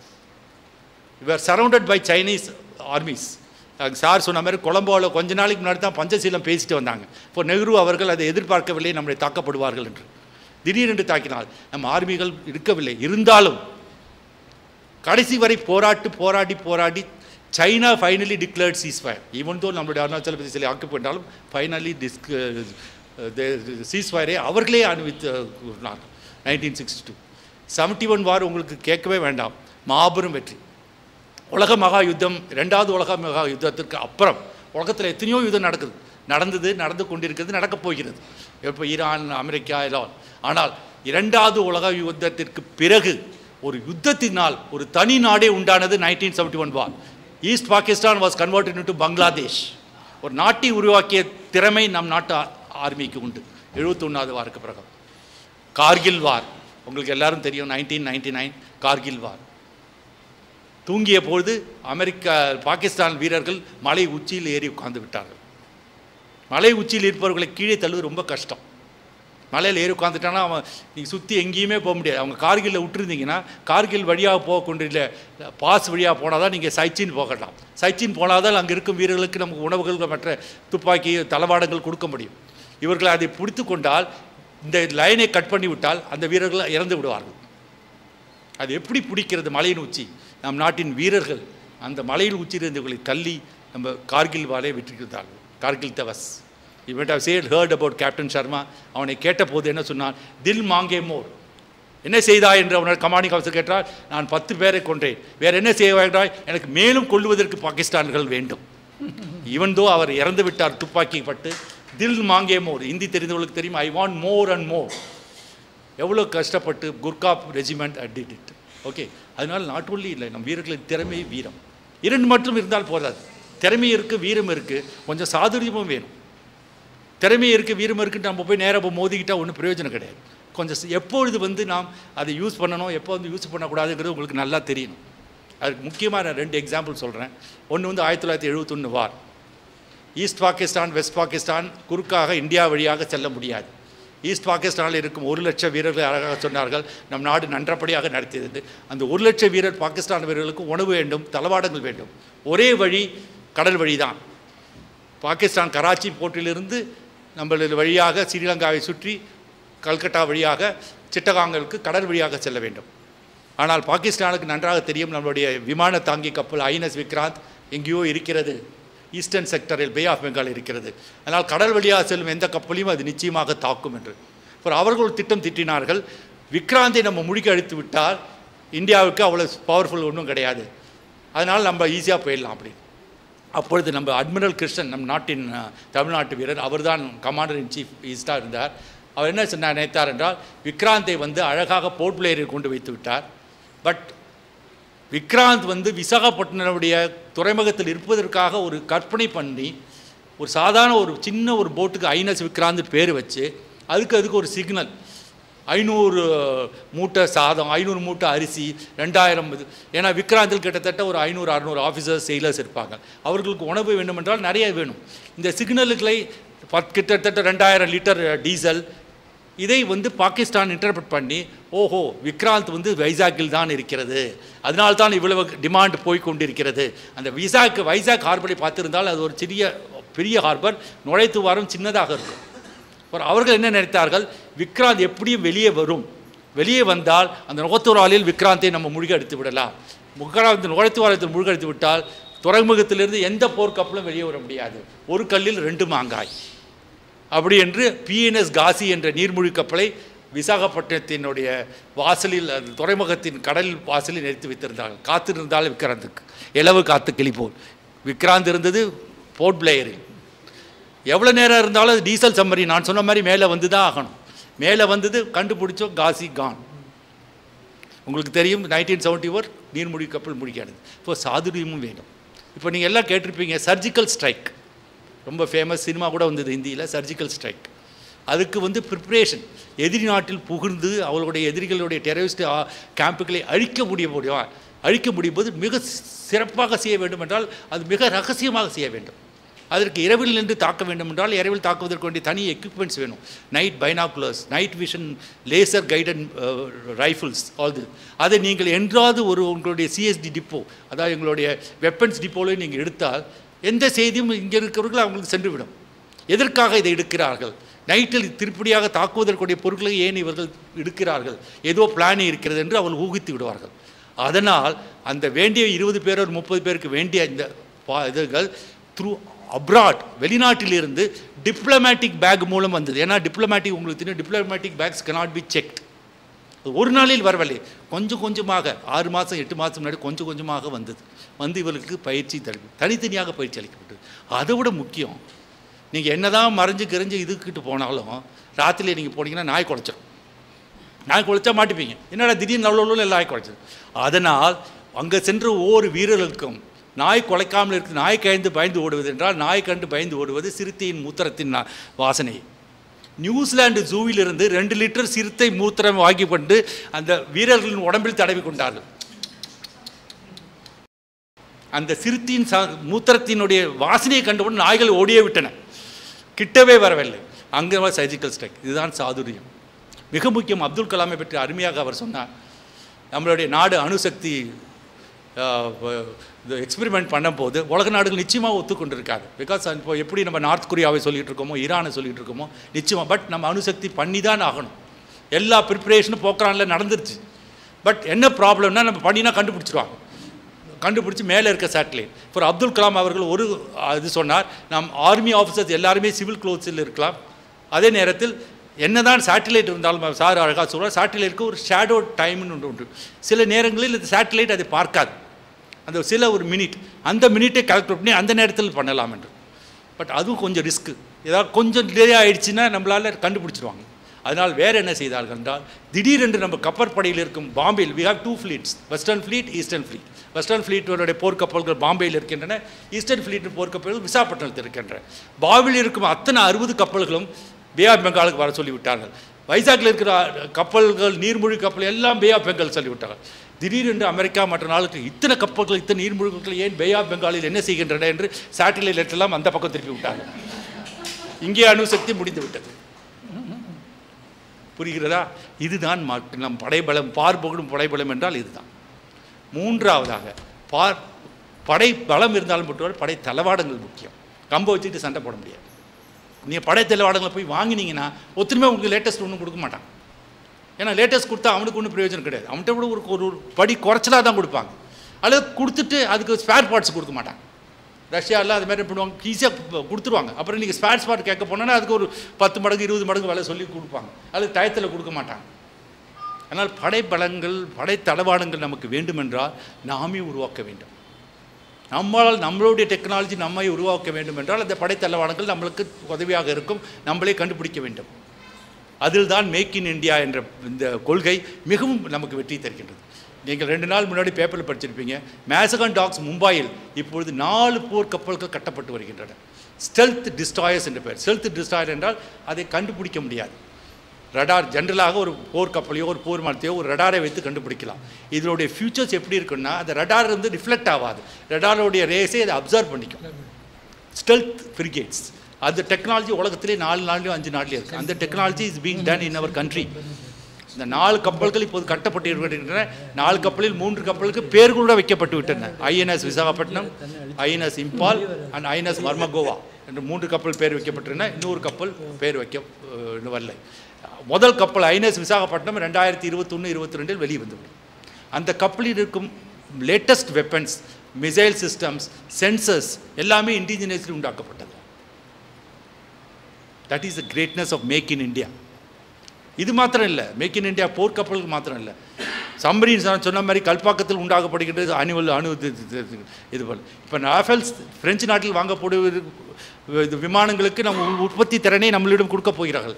டாட்டாவும் இந்தியன் இதுவும் சேர்ந்து heavy transport ஹெலிகா planes they are making for air force for மெதுவாக நாம் நம் நம்மளுடைய திறமையை கொண்டு நம் படைக்கலங்களை உண்டாக்கும் சக்தியை நாம் உருவாக்கி கொண்டிருக்கிறோம். அது ரொம்ப ரொம்ப ரொம்ப முக்கியம். பிகாஸ் நம்மளுடைய படைத்திறன்கள் நம்மளிடம் இல்லாமல் மற்றவர்களிடம் வாங்கினால் அது நிச்சயமாக நமக்கு இருக்காது. And very important is the space என்றால் நாளைக்கு ஒரு ஃப்யூச்சர் வார்ஃபேர்னு வந்ததுன்னா அது நிச்சயமாக ஸ்பேஸில் தான் நடக்கும். ஏன்னா satellite is going to be the main sir சொன்ன மாதிரி சின்னதாக ஆரம்பித்து இன்றைக்கி பெரிய லெவலில் சேட்டலைட் போயிடுச்சு. We are launching people are காத்திருக்கிறார்கள் என்று அழகாக சொன்னார். ஸ்ரீஹரிகோட்டையில் வாசலில் வெளிநாடுகள் காத்திருக்கிறார்கள். நீங்கள் படுத்திருப்பீர்கள் ரெண்டு மாதத்துக்கு முன்னால் நம்மளுடைய satellites that is image sensing satellites I been launched வேறு ஒன்றும் கிடையாது spy satellites defence spy satellites அது கிளியராக வந்து பார்டரில் பாகிஸ்தான் பண்ணி பாகிஸ்தான் சைனா பார்டரில் ஒரு துரும்பு மூடினாலும் நமக்கு கரெக்டாக சொல்லிவிடும். அந்த ஸ்பை சேட்டலைட் லான்ச்சிங் கெப்பாசிட்டி நம்மளிடம் இருக்கிறது. அதே நேரத்தில் அவனிடமும் அது இருக்கிறது. அவனும் நீங்கள் துரும்பு இருந்தாலும் கண்டுபிடித்து விடுவான். அதை அழிப்பதற்கு என்ன? அதை படிக்கிறதுக்கு satellite destroying missiles anti satellite missile sir சொல்லியிருப்பார்கள்? இங்கிருந்து ஒரு மிசைலை அனுப்பி எதிரியுடைய சேட்டலைட்டை துல்லியமாக ஒரு துரும்பு அவர் சொன்ன மாதிரி எங்கேயோ ஒரு மைனஸ் இதில் போகிறது ஒரு கிளிக்கில் ஆன் பண்ண மாதிரி எங்கேயோ இருக்கிற உலகத்தில் இப்போ சேட்டலைட்ஸ் ஃபுல் எப்படி மானத்தில் நட்சத்திரங்கள் இருக்கிறதோ அது மாதிரி இப்போ சேட்டலைட்ஸ் ஒவ்வொரு கண்ட்ரி டேட்ஸ் இருக்குது அதில் அவனுடைய ஸ்பை சேட்டலைட் என்பதை கரெக்டாக கண்டுபிடித்து அதை அழிக்கக்கூடிய ஆன்டி சேட்டலைட் மிசைலை வைத்திருக்கிறது இந்தியா. அதற்கு உலக நாடுகள் எல்லாம் எதிர்ப்பு தெரிவித்தன. சேட்டலைட்டை அழித்தால் அந்த சேட்டலைட் டெப்ரிஸ் என்று கால்வார் அது உலகத்தை விண்வெளியை பார்த்து பார்க்க விடும் என்று. அதற்கு நிச்சயமாக அது கிடக்காது. அது தூள் தூளாக ஆகிவிடும். அதுமாரி ஒன்றும் நடக்காது என்று இந்தியா அதுக்கு இருக்கு. ஓகே அது ரொம்ப ரொம்ப முக்கியம். ஃபோர் திஸ் இஸ் தளவாடங்கள் எந்த லெவலிலும் கடலிலோ அது இதிலேயோ நமக்கு நிச்சயமாக இருக்கிறது. கடைசியாக நாட்டு மக்களின் ஒத்துழைப்பு. எந்த இராணுவமும் நிச்சயமாக உலகம் பால் புகரும் படைபலம் இருக்க முடியாது. நாட்டு மக்களின் ஒத்துழைப்பு இல்லாமல். நாட்டு மக்களின் ஒத்துழைப்பு என்றால் என்ன? இவர்கள் தான் சயின்டிஸ்ட் நான் சொன்னேனே அந்த தளவாடங்கள் உருவாக்குவதற்கு ஒவ்வொரு அழகாக ஒருத்தர் சொன்னார் scientist not retired they just retired on paper they always think they come up with ideas they come up with this what started தும்பாவில் அழகாக சொன்னார். எனக்கு ஞாபகம் இருக்கிறது அப்துல் கலாமினுடைய படித்திருக்கிறேன். ஆரம்பத்த காலத்தில் ஒரு சைக்கிளில் ராக்கெட்டை எடுத்து சென்று செய்வார்கள். அந்த மாதிரி தொடங்கி இன்னைக்கு நம்மளுடைய எல்லா வெப்பன் சிஸ்டமும் நம்மளுடைய சயின்டிஸ்ட் நம் younger generation they are doing it not only that நூத்தூர் அழகாக சொன்னார் நம் நாட்டில் இருபதுலேருந்து முப்பத்தஞ்சு உள்ள இளைஞர்கள் உலகத்திலேயே அதிகமாக இருக்கிற நாடு நம் நாடு. ஜப்பானில் அதுக்கு தலைகீழ். நான் இப்போது ஜப்பான் ரொட்டேரியன் ஆல்சோ இப்போ போன மாதம் ரெண்டு மாதம் முன்னாடி ஜப்பான் போயிட்டு வந்தேன். ஜப்பானில் என்ன ப்ராப்ளம்னா எல்லாருக்கும் நூறு நூற்றி ரெண்டு வயசு. நூற்றி ரெண்டு வயசு கிழவனை வந்து தொண்ணூத்தெட்டு தொண்ணூத்தஞ்சு வயசு நூற்றி ரெண்டு வயசு அப்பாவை தொண்ணூற்றி நாலு வயசு புள்ள பார்த்துக்கிறான் அங்கே குழந்தையை பெற்றுக்க மாட்டேங்கிறாங்க. ஏன்னா they are so much busy with this things but நம் நாட்டில் இளைஞர்களுடைய அதோட human resource is very high not only human resource very high human resource with computer knowledge technical knowledge is very high in English அழகாக உலகம் முழுக்க நம்மளுடைய knowledge தான் நமக்கு இருக்கிறது. இப்போ நாளைக்கு ஒரு சைபர் வார்ஃபேர் வந்தாலும் அது எருக்கொண்டு தடுக்கக்கூடிய சக்தி நம் நாட்டிற்கு இருக்கிறது. எருக்கொண்டு சக்தி இருக்கிறது அதனால் அது மிக மிக முக்கியம். அண்ட் முக்கியமாக இவ்வளவு இருந்தும் அந்த இளைஞர்கள் நம் நாட்டில் இராணுவத்தில் சேர வேண்டும். இப்பொழுது ஆர்மி பரேட் நடந்தது 15th ஜனவரி நான் சொன்னேன். அது முன்னின்று நடத்தது தாரா குப்தில் என்ற பெண் கேப்டன் தாரா குப்தில் ஒரு ஓட்டியை சென்னையில் இருந்தது முழுமுது ஆண் மகள் கொண்ட ஒரு பரேடை முன்னின்று நடத்தியது ஒரு பெண். உலகத்தையே ஆறு பெண் நேவல் அதிகாரிகள் தனியாக ஒரு பாய்மர கப்பலில் சாகர் பரிக்ராம் என்ற சொல்லில் ஒரு வருடம் சுற்றி வந்தார்கள். Fighter jet pilots of air force are ladies today ஆனால் போர் என்பது ஆண்களுக்கு மட்டுமில்லை இளைஞர்கள் இளைஞர்கள் அவர்களை என்கரேஜ் செய்யுங்கள். சொல்லிக் கொடுங்கள். நம் நாட்டின் இராணுவத்துக்கு தேவை நம் நாட்டின் அவனை படைபலம் பார்போகணும் என்றால் அந்த பார்போகணும் படைபலத்தில் உங்களுடைய கைபலம் எங்களுக்கு தேவை என்று. நிச்சயமாக நீங்கள் செய்வீர்கள் என்று சொல்கிறேன். வாய்ப்பளித்ததற்கு வணக்கம். தேங்க்யூ அடுத்து நானிலம் இயக்கும் நல்லுறவு. வி. சேகரன் ஓய்வு பெற்ற ஒலிபரப்பாளர் ஆயிரத்தி தொள்ளாயிரத்தி நாற்பத்தேழாம் ஆண்டில் இந்தியா சுதந்திரம் அடைந்த பிறகு புதிய தொழில்மய நாடாக உருப்பெற்றது. உலகின் பல்வேறு நாடுகளுடன் நல்லுறவை வளர்த்து வருகின்ற வரலாற்றை கொண்டது நம் தேசம். உலக அளவிலான பல்வேறு சர்வதேச அமைப்புகளை உருவாக்கியதில் இந்தியாவுக்கு பெரும் பங்கு உண்டு. பல அமைப்புகள் நிறுவிய உறுப்பினர் நாடாகவும் இந்தியா திகழ்கிறது. ஐக்கிய நாடுகள் சபை ஆசிய வளர்ச்சி வங்கி பிரிக்ஸ் வங்கி ஜி டுவெண்ட்டி ஆகியவை உருவாக்கிய போது அவற்றின் உறுப்பினராக நாம் இருந்திருக்கின்றோம். அணிசேரா இயக்கம் என்ற அழைப்பை உருவாக்கியது இந்தியாவே. கிழக்கு ஆசிய உச்சி மாநாடு உலக வாணிகம் அமைப்பு சர்வதேச செலவாணி நிதியம் G eight plus five IBSA உரையாடல் அமைப்பு முதலான சர்வதேச ஸ்தானங்களில் இந்தியா முக்கிய பங்கேற்று வருகிறது. ஆசிய கட்டமைப்பு முதலீட்டு வங்கி ஹாங்காங் ஒத்துழைப்பு ஸ்தாபனம் ஆகியவற்றிலும் இந்தியா உறுப்பினராக உள்ளது. பிராந்திய அளவில் சார்க் அமைப்பிலும் பிம்ஸ்டெக் அமைப்பிலும் இந்தியா அங்கம் வகிக்கிறது. ஐநா சபையின் பல்வேறு அமைதி பணிகளிலும் நம் நாடு பங்கேற்றுள்ளது ஐநா அமைதிப்படைக்கு ரெண்டாயிரத்தி ஏழாம் ஆண்டில் அனுப்பிய படை அணி உலக அளவில் இரண்டாவது பெரிய அணி என்பது குறிப்பிடத்தக்கது. உலக அளவிலான பல்வேறு முக்கியத்துவம் வாங்கிய விஷயங்களை இந்தியாவின் கருத்து ஊன்றில் கவனிக்கப்படுவதுடன் கருத்தில் கொள்ளப்பட்டு முடிவுகள் எடுப்பதில் தனது செல்வாக்கை செலுத்துகிறது. இதன் காரணமாகவே ஐநா சபையின் பாதுகாப்பு சபையின் நிரந்தர உறுப்பு நாடாக இடம்பெறுவதற்கு பல நாடுகள் தமது ஆதரவை மீண்டும் மீண்டும் வலியுறுத்தி சொல்லி வருகின்றன. இது ஒன்றே உலக அளவில் இந்தியாவின் வெளியுறவு கொள்கைக்கும் உள்ள ஆதரவை மிக தெளிவாக காட்டுகிறது எனலாம். இந்தியாவின் வெளியுறவு கொள்கையில் உலக அளவிய பல முக்கிய பிரச்சனைகளுக்கு கவனம் செலுத்தப்படுகிறது. பருவநிலை மாற்றம் எரிபொருள் தேவை உணவு பாதுகாப்பு பூவெப்ப மாறுதல் போன்றவற்றை அதற்கு எடுத்துக்காட்டாக சொல்லலாம்.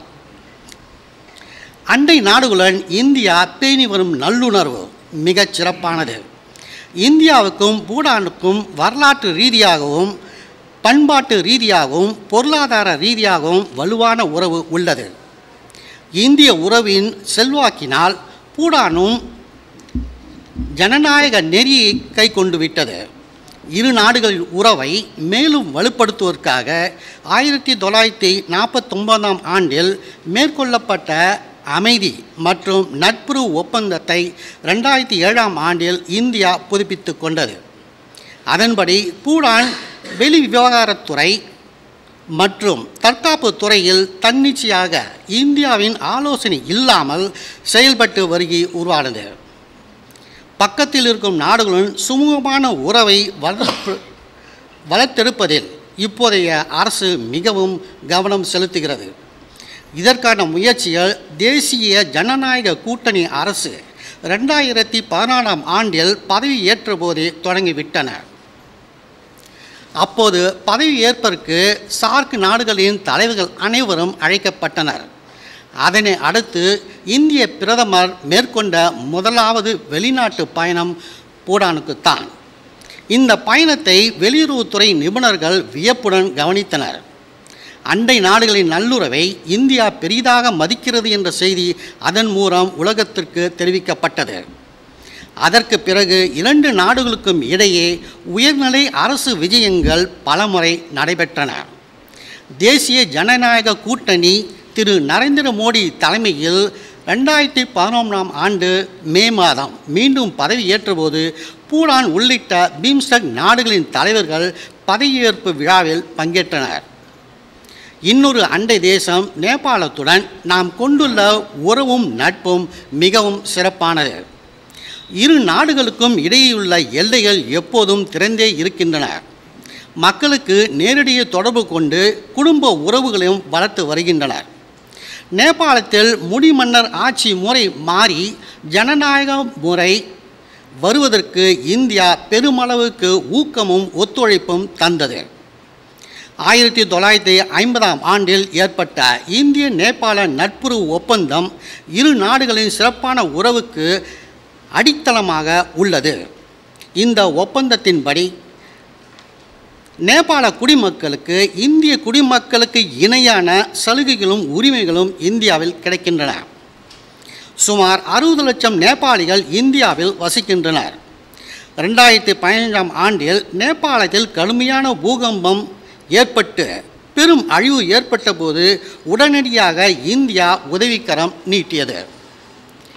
தேசிய பேரிடர் மீட்பு குழுவினரும் நிவாரணப் பொருள்களுடன் சிறப்பு விமானங்களும் நேபாளத்திற்கு அனுப்பி வைக்கப்பட்டன. காட்மண்ட் பள்ளத்தாக்கில் பூகம்பத்தால் சிதைந்து போன மூன்று மின்சார நிலையங்களை மீட்டு மீண்டும் செயல்பட இந்தியா உதவியது. இந்தியாவின் தொழில் நிறுவனங்கள் தான் நேபாளத்தில் பெருமளவுக்கு முதலீடு செய்துள்ள வெளிநாட்டு நிறுவனங்கள் ஆகும். நேபாளம் அங்கீகரித்துள்ள நேரடி அந்நிய முதலீட்டில் முப்பத்தெட்டு சதவீதத்தை இந்திய தொழில் நிறுவனங்களே செய்துள்ளன. மின்சார உற்பத்தி சுற்றுலா சேவைகள் உற்பத்தி துறை போன்றவற்றில் சுமார் நூற்றி ஐம்பது இந்திய நிறுவனங்கள் செயல்படுகின்றன. இந்திய மக்களுக்கும் நேபாள மக்களுக்கும் கலை பண்பாடு கல்வி ஊடகம் போன்ற துறைகளில் நேரடியான பரிமாற்றத்திற்கும் உதவிக்கும் இந்திய அரசு ஏற்பாடுகளை செய்துள்ளது. வங்கதேச பொறுத்தவரை அந்த நாட்டை சுதந்திரமான தனிநாடாக முதலில் அங்கீகரித்த இந்தியாதான் ஆயிரத்தி தொள்ளாயிரத்தி எழுபத்தொன்னாம் ஆண்டில் இந்திய பாகிஸ்தான் போருக்கு பின்னர் வங்கதேசம் உருவதற்கு வித்திட்டதே இந்தியாதான் என்றால் அது மிக ஆகாது. உலக நாடுகளில் இந்தியாதான் முதல் முதலாக வங்கதேசத்துடன் ராஜ்ய உறவுகளை ஏற்படுத்தியது என்பதும் குறிப்பிடத்தக்கது. சமீபத்திய ஆண்டுகளில் இந்திய வங்கதேச உறவு மிகவும் வலுப்பட்டு உள்ளது. சுமார் பதினாறு கோடி மக்கள் தொகையை கொண்ட வங்கதேசம் ஏழு முதல் எட்டு சதவீதம் வரை வளர்ச்சியை காண்பதற்கு இந்தியா பெரிதும் உதவியுள்ளது. மிகவும் பின்தங்கிய நாடுகள் பட்டியலில் இருக்கின்ற வங்கதேசம் ரெண்டாயிரத்தி இருபத்தி நாலாம் ஆண்டில் வளரும் நாடுகள் பட்டியலில் சேர்வதற்கு இப்போதைய பொருளாதார வளர்ச்சியை அடைய இந்தியா உதவியுள்ளது. இது நாம் மெய்யாலுமே பெருமை கொள்ளத்தக்க விஷயமாகும். இந்தியாவுக்கும் வங்கதேசத்திற்கும் நடுவில் நாலாயிரத்தி தொண்ணூத்தாறு கிலோமீட்டர் பொதுவான எல்லை உள்ளது. இந்தியாவின் அண்டை நாடுகளுடன் ஒப்பிடும்போது வங்கதேசத்துடன் உள்ள எல்லையே மிகவும் நீளமானது.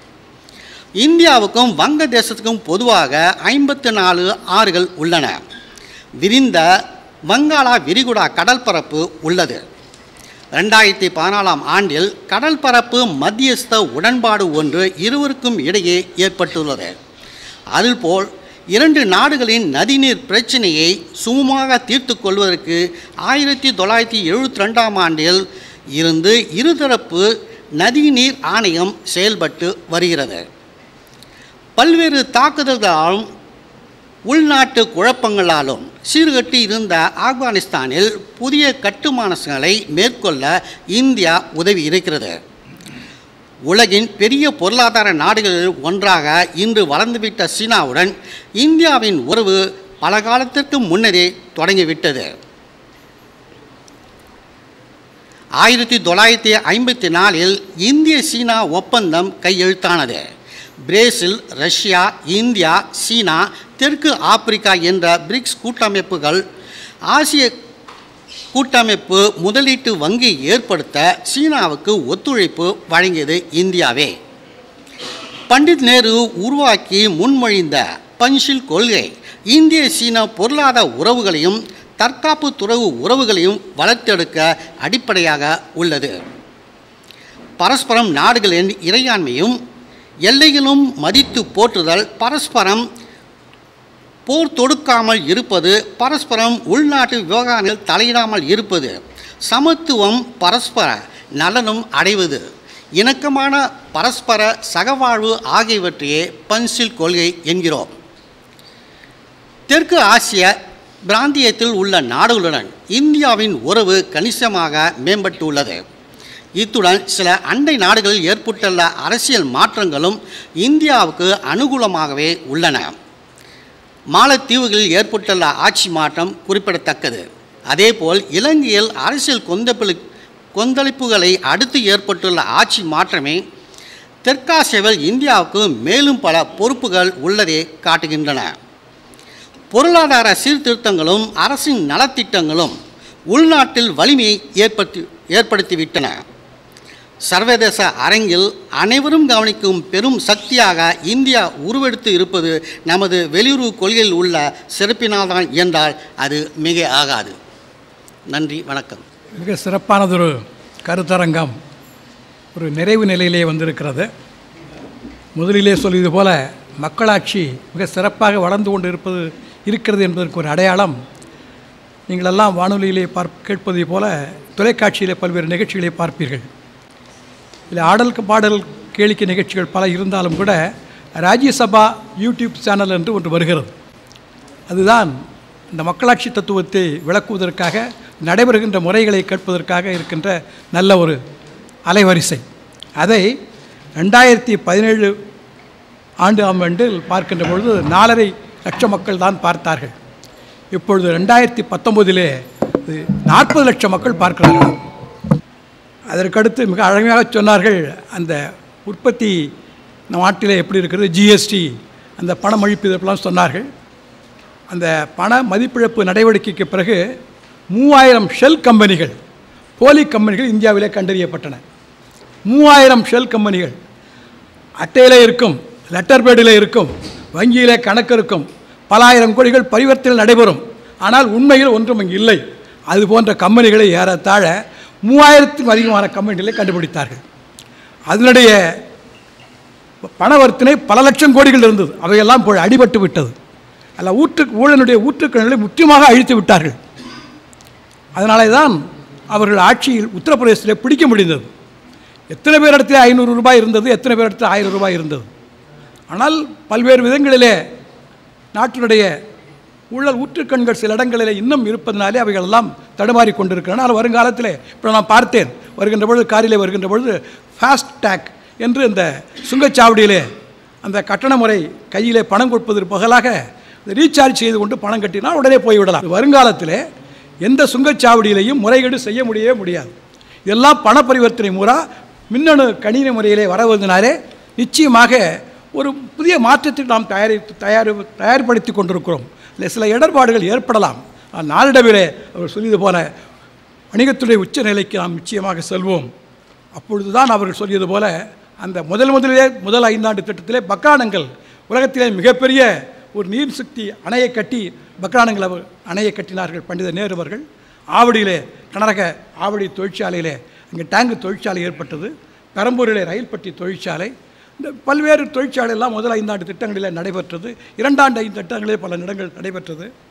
அதற்கடுத்து இப்பொழுது சமீபத்தில் அந்த பாரத பிரதமர் அறிவித்திருக்கிறார் தமிழகத்திற்கு மாமல்லபுரத்திற்கு அருகிலேயே ஒரு ஒரு மிகப்பெரிய இராணுவ தளவாட தொழிற்சாலை வரைவதாக அறிவித்திருக்கிறார்கள்.